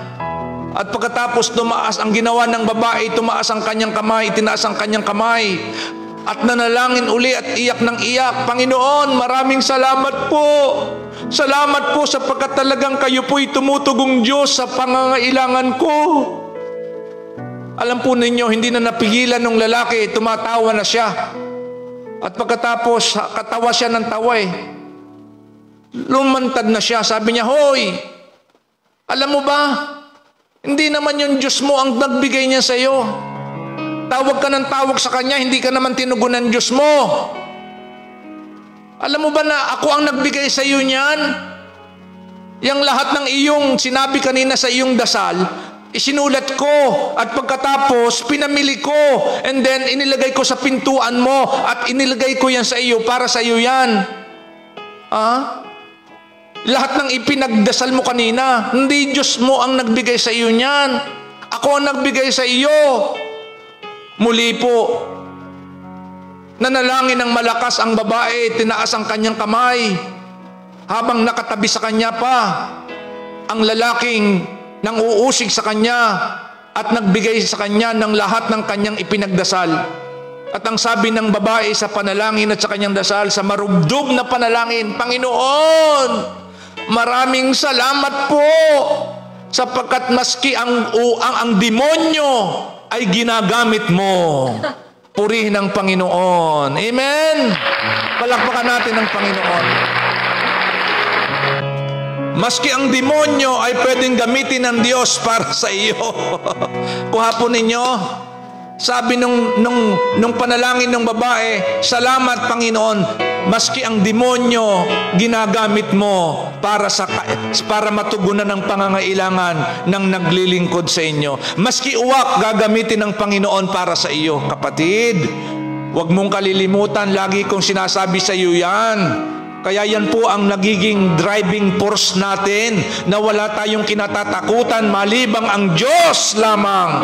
Sa Diyos ka lamang maglingkod ng tama at totoo sapagkat siya lamang ang may karapatan, siya lamang ang pwedeng magbigay sa iyo ng tunay na kapangyarihan, ng tunay na solusyon sa problema mo.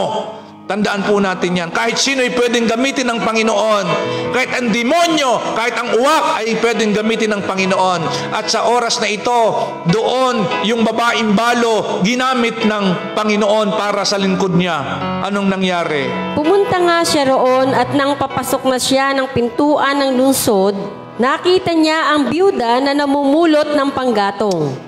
Sinabi niya sa babae, Oh. maaari po bang makiinom? Kita po ninyo ha, yung babaeng balo namumulot ng panggatong. Ano sabi? Aalis na ang babae upang ikuha siya ng tubig nang pahabol niyang sabihin, kung maaari, bigyan mo na rin ako ng kapirasong tinapay. Okay. Sumagot ang babae. Sumagot daw yung babae, di po ba? Anong sabi? Kasi ganito po yon. Kapag ikaw ay uhaw na uhaw, ikaw ay ano, di ba? May kasabihan tayo dito sa Pilipinas. Ah, dito sa Pilipinas, mga Pilipino, ano? Alam po ba ninyo na yung pasma? Alam ba yung pasma? O di kaya, ano ba yung pasma? Yung nalilipasan ng gutom. Ngayon, halimbawa, ikaw ay nagpainit. Ah, halimbawa, nagpainit ka, pagod na pagod ka, napawisan ka, tapos bigla kang maliligo. Ang tawag po doon, makamapasma ka. Masisira yung mga buds, yung mga yung katawan mo, baka magkalagnat ka pa. Ngayon, pag gutom na gutom ka, ah, nagugutom ka. Eto na, naglakbay ka sa malayo. Pagkatapos noon, iinom ka. Ah? Nakakasama yun. Kuha po ninyo. Kaya bago ka kumain, bago ka uminom, kumain ka muna.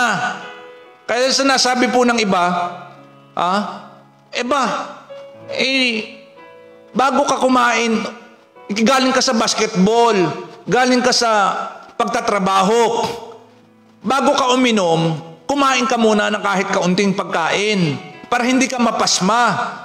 Kuha po ninyo. Mga kaibigan, makinig po kayo. Naunawaan po ninyo. Ito, nangyari. Si Elias, nagbiyahe, naglakbay. Gusto niyang makiinom. Ah, ay sabi po niya, o ikukuha na ng tubig nung babaeng balo. Pwede po ba ma- makiinom? At ikukuha na sana siya ng tubig ng babaeng balo. Biglang nagsabi po si Elias, ano sasabihin mo pag ikaw ay makikiinom na ikaw ay gutom na gutom? Di po ba, di po ba gama, masama ang uminom ng gutom?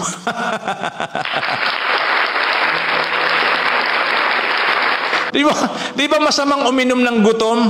Ano sabi ni Elias nung doon sa kukuha na sana ng pagkain?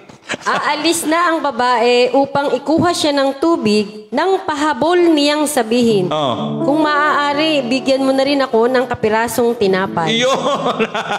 Kung maaari, bigyan mo muna ako ng kapirasong tinapay.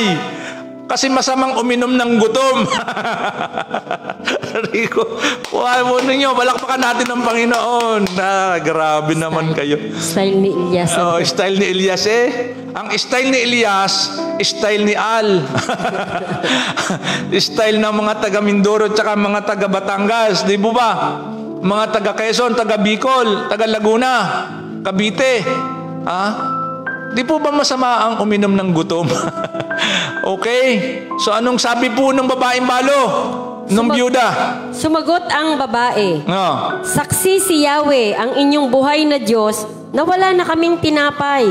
Mayroon pa kaming kaunting harina at ilang patak ng langis. Oh. Namumulot nga ako ng panggatong upang lutuin iyon at makakain man lamang kami ng anak ko bago kami mamatay. Grabe ano? So makikita po ninyo, dahil sa kagutuman, dahil po may three and a half years na taggutom, tagtuyo, di po ba? Hindi umulan eh.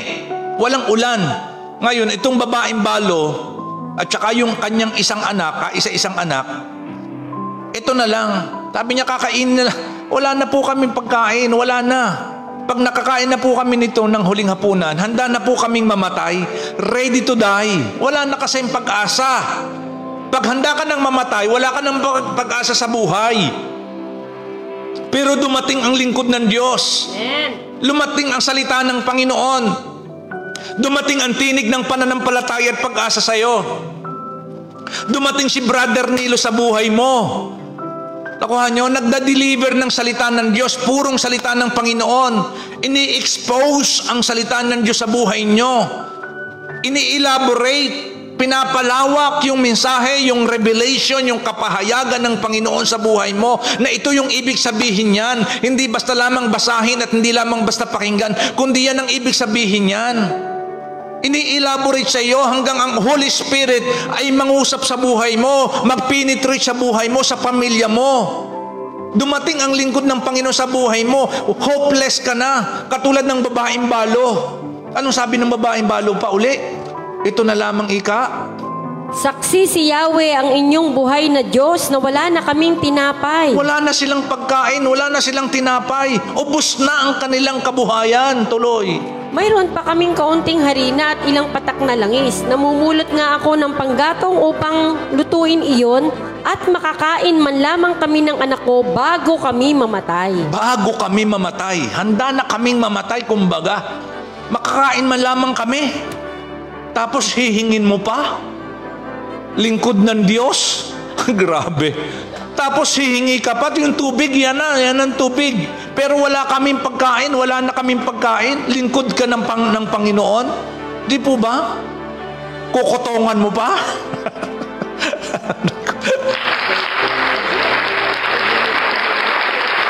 Walang-wala na nga, hingi pa ng hingi. Sasabihan pa na magbigay ng first fruit, magbigay pa ng tithes, magbigay pa ng handog at magtanim pa. Walang-wala na nga. Ah, kukutungan mo pa, inuuto-uto mo, inututo-uto mo lamang eh. Ah, sabi ni Elijah, "Ik- i- pwede po bang ikuha mo rin ako ng, bigyan mo rin ako ng tinapay? Saksi ang Diyos. Wala na kaming tinapay. Ito na lamang kakarampot na harina. Iluluto namin lamang namin ito. Para pagkatapos namin kainin ito, bago kami mamatay, ayos na. Tapos kukunin mo pa itong kakarampot. Oh my goodness. Diba? Alam po ninyo, ang salita ng Diyos, ang lingkod ng Diyos ay hindi para kayo pahirapan. Ang lingkod ng Diyos ay sinasabi sa inyo, hiniingan kayo ng Panginoon para kayo'y pagpalain. Para, tingnan po ninyo sa probinsya. Sa probinsya po, kahit sa ang probinsya po yan, may poso. Pansinin po ninyo, magdamag, may mga posong ganito. Bago po ibomba ang poso, madalas po wala kang tubig na makukuha. Hangin lang ng hangin. Nakukuha po ninyo. Mag-react na po kayo. Mag-comment po kayo. Tama po ba kayo? Tama po ba ang pinag-uusapan natin? Sino po bang may poso sa inyo? Okay. Sa inyong barangay. Sa Mindoro, sa Bicol, mayroon din. Sa Quezon, mayroon din. Sa Batangas, mayroon din. Sa lahat ng barangay, maging sa dako po ng yung malalayong lugar. Sa Masbate, mayroon din. Poso po yan. Bomba ang tinatawag. Depuel. At pagkatapos, mayroon pong ganitong senaryo na magdamag kapag iniwanan mo yan at kinaumagahan nakapila yan, hindi po magbibigay ng tubig sa inyo hanggat hindi mo nilalagyan ng ilang tabo na tubig. Kuha po ninyo? So kinakailangang mayroong magsakripisyo para magbigay ng tubig para ilagay doon sa poso o sa bomba, sa dipwell, para pag kanya pong binumba yon ay mayroong lalabas na tubig. At kahit ilang drum na tubig ang kunin mo doon, napakadaming tubig, yung buong barangay masosoplayan. Kuha po ba ninyo mga kaibigan, mga kapatid?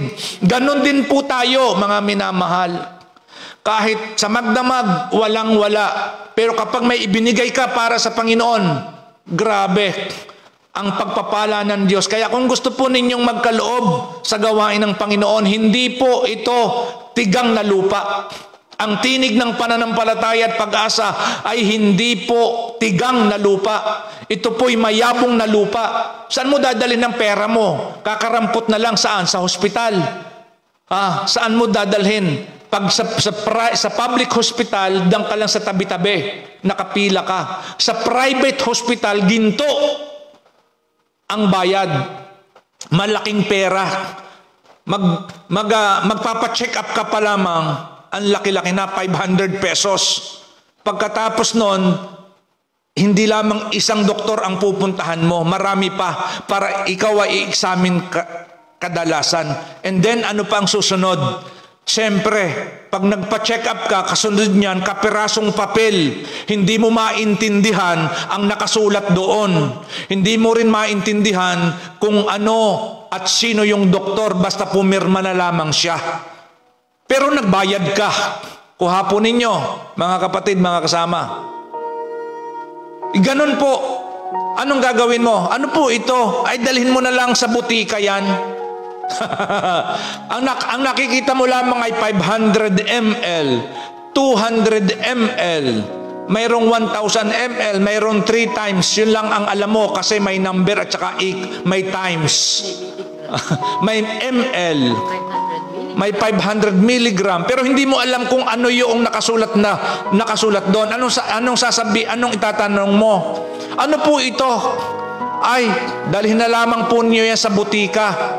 Dalhin na lang sa Mercury Drug, dalhin na lang po niyo sa, sa butika yan, sa ano, bilihan ng gamot. Pagpunta mo sa bilihan ng gamot, kamot ka sa ulo. Bakit? 500 pesos lamang ang dala mo. Kuha po ninyo. So matotal 500 pesos, may 1,000 pesos nagpa-check up, binayaran mo yun sa sa doktor yung 500, kahit isang doktor na lang kasi medyo mahirap na tao eh. Okay? Pagkatapos pumunta ka, may 500 ka pa. Medyo alas 11.30 na. Mag-aalas 12 na. So, na, nakalam na ang sikmura mo. Pero kinakailangan mong bilhin yan. Pumunta ka sa butika sa may katapat ng hospital. Magkano? Pakiano po nito.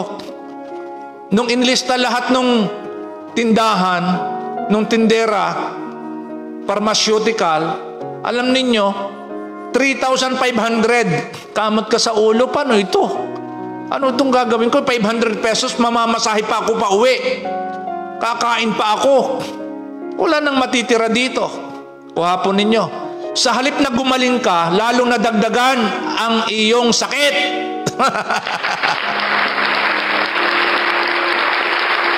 Sa halip na gumaling ka, lalo kang nagka-high blood. Wala kang high blood kanina. Ngayon nagka-high blood ka.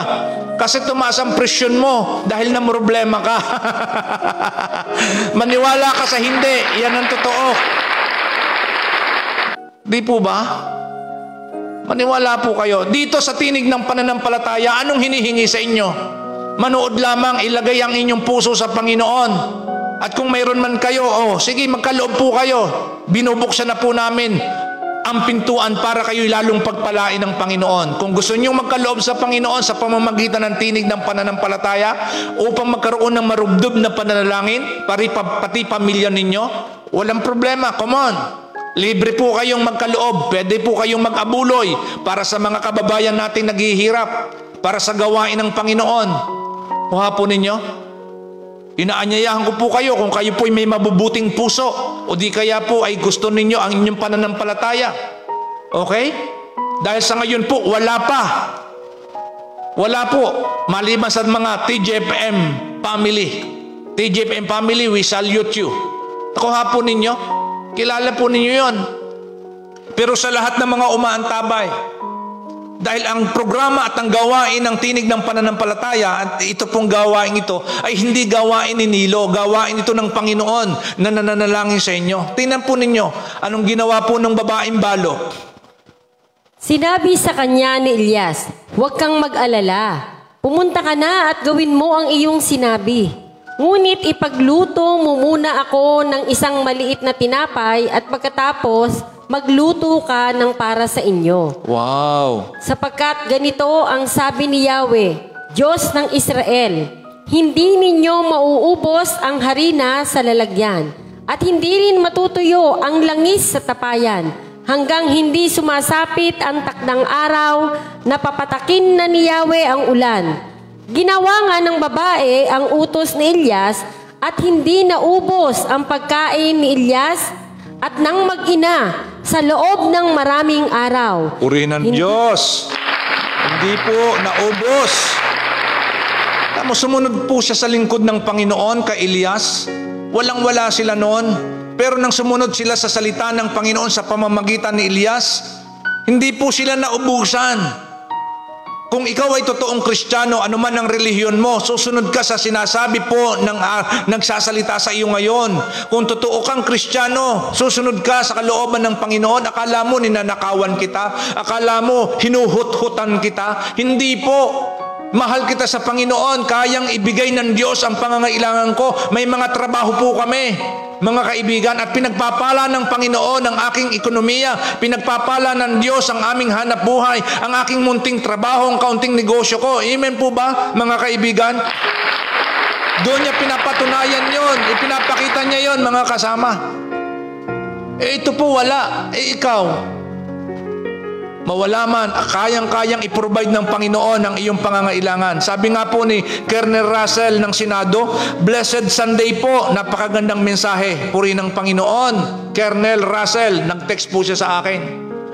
Glory to God ngayon po yan, 11.29 a.m. 11.29 na ba? God bless you, Colonel Russell. Puri ng Panginoon. Ito po, looking for rain. Ano pong nangyari? Mukhang ating ikakata, no? Continuous po ito sapagkat ang oras natin mahaba eh. Pero ganda. Pero maganda. Grabe. Kung ikaw ay tumitingin ng ulan ng pagpapala, ito na ang kasagutan. Okay? Susunod ng ba- babaeng balo ang sinabi ng lingkod ng Panginoon. Ano sabi niya? Anong nangyari?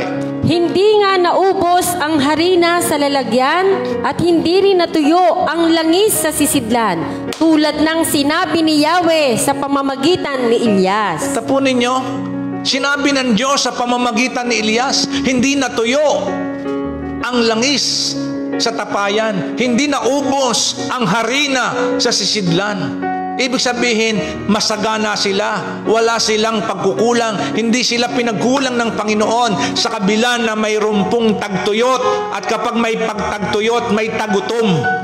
Sa atin po'y may tagtuyot ngayon. Lay off dito, lay off doon. Kulang na kulang yung sweldo ng ating mga manggagawa. Yung iba po, three times a week na lamang nagtatrabaho. Yung iba once a week na lamang nagtatrabaho. Kulang na kulang. Yung iba nagbibigay ng naggumagawa ng sideline, kung ano-ano nang ibinebenta. Yung iba po nating mga kababayan nakakalungkot at nakakaawa. Bakit po ultimong ang anak nilang limang taong gulang, binubugaw nila pinaghuhubot-hubad nila para ipadala sa kanila sa kanilang mga kliyente sa ibang bansa at binabayaran sila ng 100 pesos lamang. Tingnan po ninyo yan. Pati mahal nila sa buhay, pati mga magulang ay gumagawa ng mga bagay na ito. Kanila pong uh, kanila pong uh, ini-exploit ang ang mga bata, ang mga anak nila dahil sa kakulangan, dahil po sa kawalan, dahil sa kahirapan. Hindi po ba kayo nalulungkot yan sa mga bagay na yan? Bilang lingkod ng Panginoon, ang inyong lingkod, mga kaibigan, kung ikaw ay maganda ang buhay, magpasalamat ka, pero hindi mo alam, bilog ang globe. hindi mo alam, kung hindi mo pa alam, bilog ang mundo. Ibig sabihin, kaya nga may nagsasabi, ha? Bilo, gulong ng palad. Kuha nyo, yung gulong ng palad.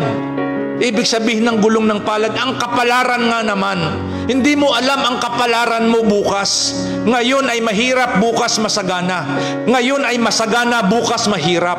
Yung babaeng balo, nasa kanyang palad. Ni si Kristo na ang Diyos sumunod, hindi siya pinaghirap. Kaya kung ikaw ay nagmamalaki dahil mayroong kang, mayroong kang ipon, mayroong kang pera sa bangko, mayroong kang magandang trabaho, kung ikaw ay malakas ang loob dahil maganda ang iyong kinabukasan sa tingin mo lang yan. Marami po ang napapahamak sa akala. Pero yung isinisigaw ko po sa inyo, hindi akala, hindi maybe, hindi perhaps, sure, 100% sigurado, if you believe, you shall receive. Amen and amen. Glory to God. Maraming salamat sa Panginoon. Sabi nga ni Profesor Raquel Tapalya, isang napakagaling na profesor mula sa Lipa City, salamat po sa mga pagpapala aking Panginoong Diyos. Totoo yan. Kaya, puri ng Panginoon, magpadala ka na rin ng iyong share sa Panginoon. No? Kaysa naman sa saan mo ibibigay? Yung iba dinadala ang pera nila sa sa bangko. Alam niyo magkano lamang magkano lamang ang interest, magkano lang ang kita sa bangko ah, sa ating tinatawag na time deposit. Kung may 500,000 ka, 1,500 every 6 months. 2,500. Ilang porsyento lamang yon sa loob ng isang taon. Ah, sa loob ng isang taon, 5,000 lang o 3 uh, 2,500 something like that something like that in a year, 5%. Ganon ka kaliit. Ah, sa, sa, padala mo sa hospital ang pera mo. Bakit? Kasi may sakit yung asawa mo, may sakit yung anak mo, may sakit yung kapatid mo, may sakit ka. Ah, hindi mo alam, malakas ka, pero nga bukas, tinubuan ka ng tumor. Sinabi sa ng doktor, ano yon? Stage 2, stage 3, kailangan mo ng gamot, medication. Nung nanawagan si Brother Nilo sa iyo, dinidma mo. Tapos hihingi ka ng dasal. Pero pagdating kay doktor, wala ka. Hindi ka nagdududa sa doktor mo. Sa hospital na pinuntahan mo, hindi ka nagdududa. Pero kay Brother Nilo, nagduda ka. Ba't ako magpapadala dyan ng pera? Sino yan? ay nagdadasal lang naman yan. Alam mo, ito ang pinakamabisa. Ano sabi niya doon uli? Tingnan po ninyo si Elijah doon sa James. Pag-usapan natin ito ng maigi. Santiago, Kabanatang uh, 5, talata ay 17. Tingnan ninyo. Si Elias ay isang tao na tulad din natin. Si Elias ay isang taong tulad din natin. Ano lamang ang nangyari sa kanya?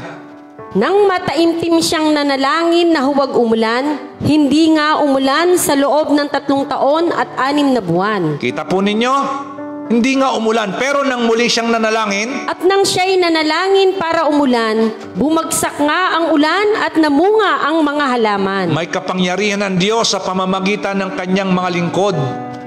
Ah, at tingnan po ninyo, sabi ni Eli, sabi po sa 17, si Elias, sinabi niya kay Ahab, ah, buhay ang Diyos ng Israel na aking pinaglilingkuran. Katulad ni Elias, ang Diyos na aking pinaglilingkuran ay buhay. Tandaan po ninyo, maraming pagkakataon na nasubukan at ang Diyos naman ay napasusubok pero hindi napabibiro. Huwag mong biruin, huwag mong lukuhin ang Diyos, hindi ang Diyos maluloko. Pero subukan mo ang Panginoon at makikita mo ang kanyang kapangyarihan. Subukan mo siya. Ha? Naunawaan po ninyo, pagpapalain ka ng Panginoon. Kaya ano pa sinasabi po natin? Sa doktor, sa mga hospital, hindi ka hindi ka nagdududa. Dito sa tinig ng pananampalataya, araw at gabi nananalangin para sa iyo. Nararamdaman mo 'yan? Nara, nakaka-relieve ka? Ah, napapalakas ka, nagkakaroon ka ng kapayapaan kapag napapakinggan mo. Pero pag doktor ang pinuntahan mo, anong nangyayari sa iyo? May sakit kang ganito, ikaw ay may komplikasyon, Pum- nasa gate pa lamang ng hospital, kakabaka ka na. Ano kaya? Ano kaya? Ano kaya? Ah, positive kaya ako sa COVID? Ano kaya itong bukol na ito? Ano kaya ito? Mrs., okay lang naman yan. Kaya lamang ang creatinine mo masyadong mataas. Okay lang naman yung bukol, nawawala yan sa gamot. Kaya lang may kamahalan. Di po ba? Sabi ng doktor mo, ay yung anak mo ay ah, yung kanya namang ano, tut tut tut tut tut tut tut. Oh, hinga ng malalim. Stop sa paghinga. Release ang hinga. Ah. Siya pa. Masakit dito. Ah. Ah. Okay lang. Oo. Medyo ano siya, medyo may halak siya dito. Medyo parang may problema sa left, sa left side ng kanyang lungs. Ang kailangan po natin, misis, sa anak mo ay ipa-x-ray para sigurado eh magkaroon tayo eh, ating ah, ah, ah, anong tawag dito? Magkaroon tayo ng ah, ultrasound, yung iyong ah, yung iyong babang ah, stomach parang iba. Ah?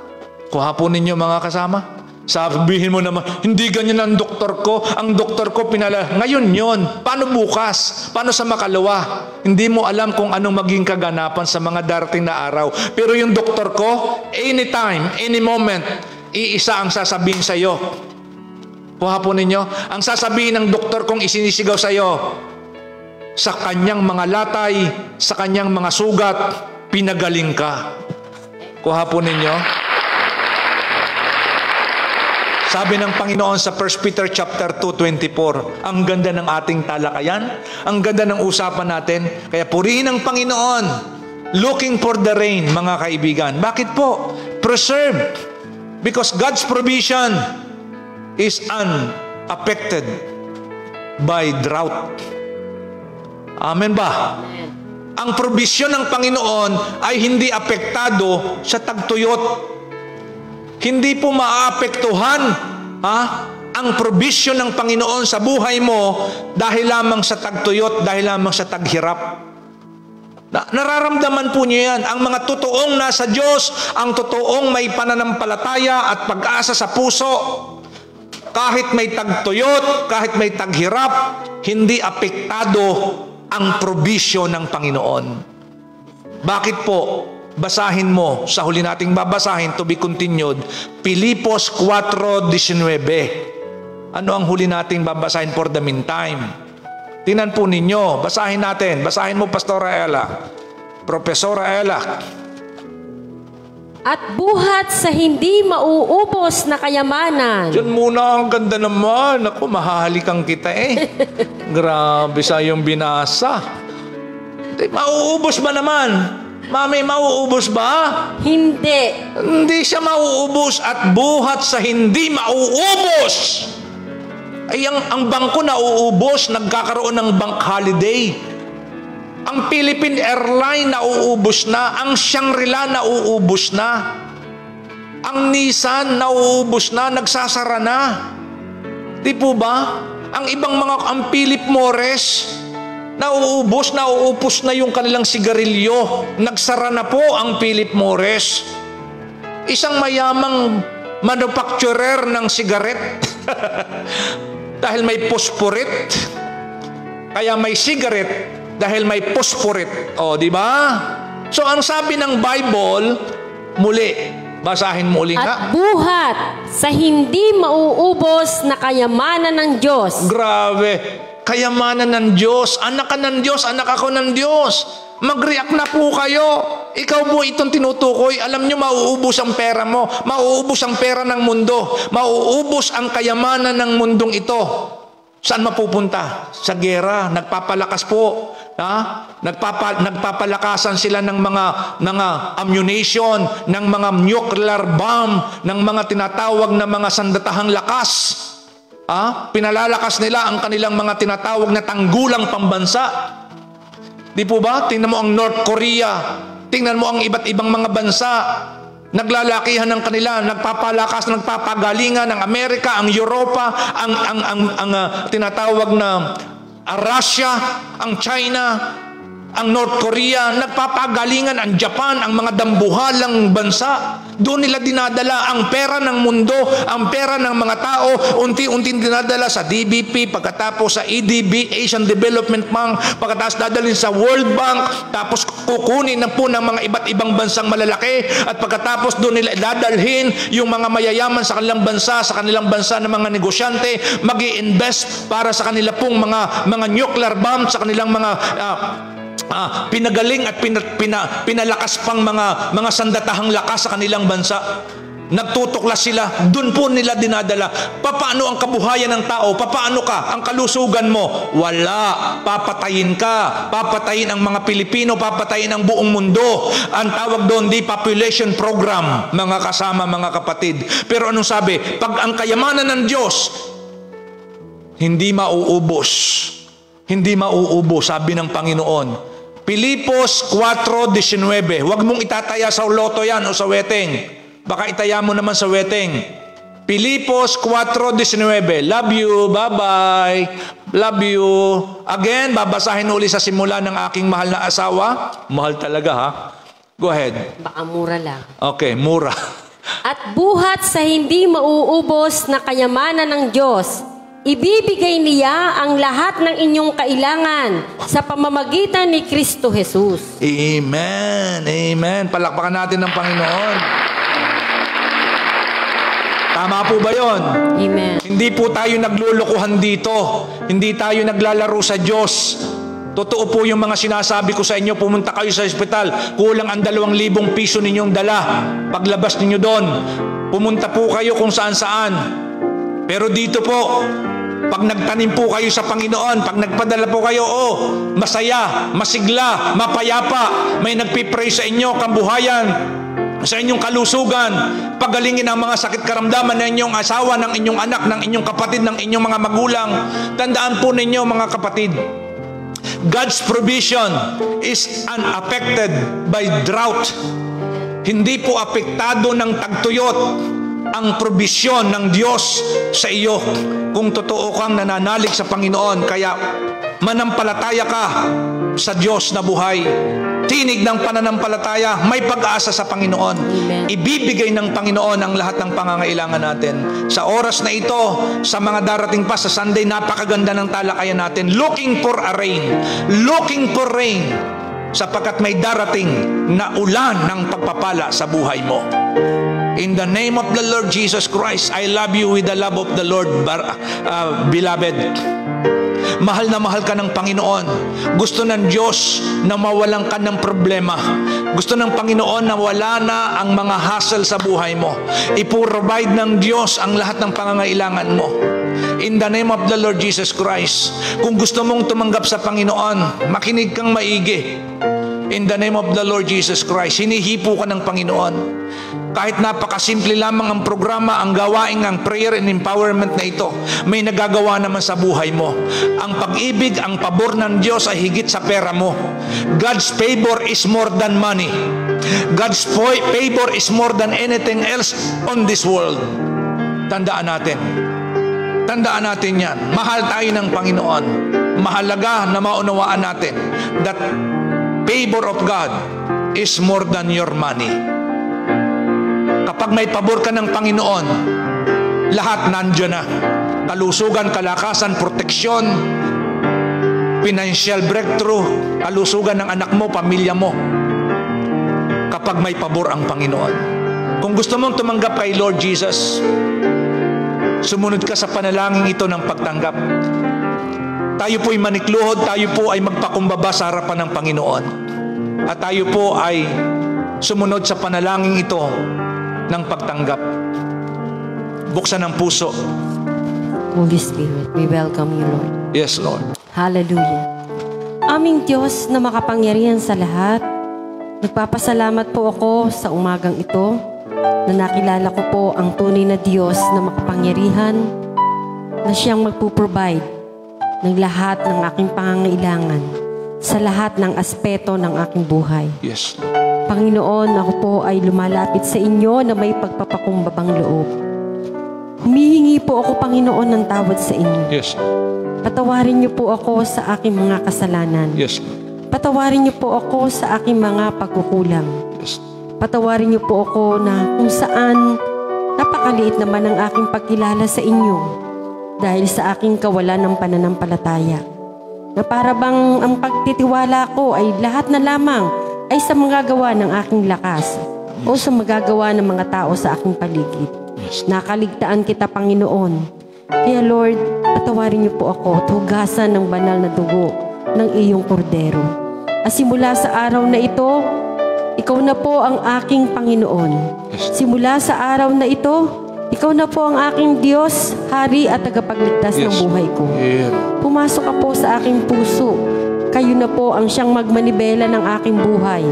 Huwag na po ang aking sarili ang masunod, kundi kayo na po ang aking susundin sa lahat ng aking iisipin, sasalitain at gayon din sa lahat ng aking gagawin. Maraming salamat, Panginoon. Inaangkin ko po ang pagpapala ng mga salitang nakinig ko ngayong araw na ito, na sa gitna ng tagtuyot, hindi po maaapektuhan ang pagdaloy na masagana Yes. ng pagpapala mo po sa akin, bunga ng aking pananampalataya sa inyo. Maraming salamat sa buhay na walang hanggan. Salamat din po na isinulat mo ang aking pangalan sa aklat ng buhay. Maraming salamat po. Ito po ang aking samo at dalangin na may pagpupuri at pasasalamat sa pangalan ni Kristo Jesus na aking Panginoon, Hari at Tagapagligtas. Amen. Amen. Congratulations. God loves you so much. And I love you so much too. We love you. And this moment, ano man ang inyong tagtuyot na nararanasan, salamat sapagkat may buhos ng ulan ng pagpapala sa buhay niyo. Tanggapin mo ito at sa darating na linggo, huwag mong kaliligtaan. Napakaganda pa ng talakayan. At titiyakin ko sa iyo, hindi pwedeng hindi ka dumaloy at hindi ka makatanggap ng pagpapala at ng ulan, ng biyaya at pagpapala na nagmumula sa langit. Hindi lamang kapayapaan, hindi lamang pag-ibig, kundi material na bagay ang matatanggap mo. Kaya huwag kang bibitaw sa Panginoon at sa tinig ng pananampalataya at sa TJFM family na kung saan regardless of our denomination or religious re-affiliation, wala tayong pag-uusapan kundi ang pagtitiwala at pananampalataya at pagsunod, pamumuhay sa salita ng Panginoon lamang. Dahil mahal tayo ng Panginoon, walang itinayong relihiyon si Heso Kristo sa puso ng tao. Ang itinayo ni Heso Kristo sa puso ng tao ay malalim na relasyon, pagsunod na may kagaanan at kagalakan sa kanyang puso. Iyon ang inilagay ni Jesus sa puso mo at sa puso ko ngayon. Maraming maraming salamat. gabayan at patnubayan at bindisyonan ka ng Panginoon at ang unang bahagi ng looking for rain sa buhay mo'y maranasan mo. Sa pangalan ng Diyos Ama, Anak at Espiritu Santo. Amen and Amen. God bless you. Amen. Pagpalain ka ng Panginoon. Amen and Amen.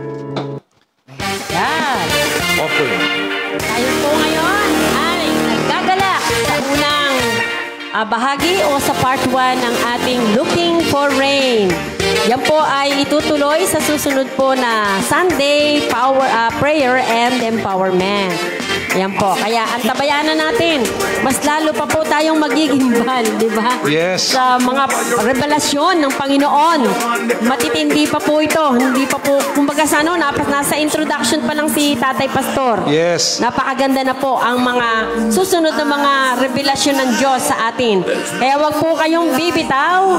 Palagi po tayong magkukunek. Sabi nga, there is power in Connect. connectivity. So ngayon po idadako tayo sa ating pagkakaloob sa Panginoon ng ating mga tithes and offering. Mga tanim. At mga tanim at gain din ng ating baka may mga hindi pa nakakapag first fruit ano? First fruit, Mm, kasi harvest time ngayon. harvest time, year of the great harvest. Year of the Great Harvest ngayon. Kaya hindi pa po nakapagtanim ng first fruit nila. Dami- na rin po natin sa kanilang mga tahanan. Iharap po ninyo ang inyong mga ah, pinaglalagyan ng mga kaloob at mga ikapo sa Panginoon at nang mabindisyonan din po natin. Yes, Tatay Lord. Pastor. Okay po, iharap natin sa screen ng ating mga cellphones o anumang gadget. In the name of Jesus. Hallelujah.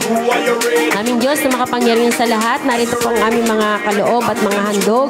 Hindi po mga ikapo, mga tanim. Hindi po Diyos sa mga unang ani. Pagpalain niyo nga po ito at patuloy o Diyos na magsilbing pagpapala at sa ikalalagana pa ng mga gawain mo sa hindi lamang sa lugar na ito ng bansang Pilipinas, kundi sa iba't iba pang panig ng mundo. Yes, At salamat po sapagkat ang mga ah, mga pinansyal na ito ay magagamit o Diyos para sa iyo at sa gawain Panginoon at sa mga lingkod din na nagpapagamit sa inyo. Yes, Lord. Purihin ka Panginoon at luwalhatiin ka o Diyos sa pangalan ni Kristo Jesus, naming Panginoon, Hari at Tagapagligtas. Amen. Amen.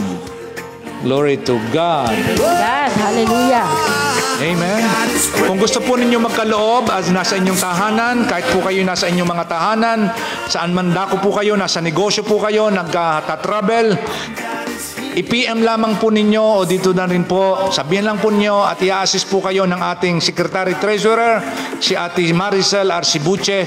I-assist po kayo papaano po mabibigyan kayo ng resibo at mabibigyan po at maire-record ang inyo pong mga kaloob para sa Panginoon at kayo po ipagpapalain at kayo po ay aming patuloy na ipapanalangin. Kung kayo po galing sa puso ang pagkakaloob, lubos po naming ah, ginagagalak na tanggapin ang mga bagay na yan. Galing sa Panginoon, puso lagi. Sino man po kayo. God bless you all. Amen. Praise God.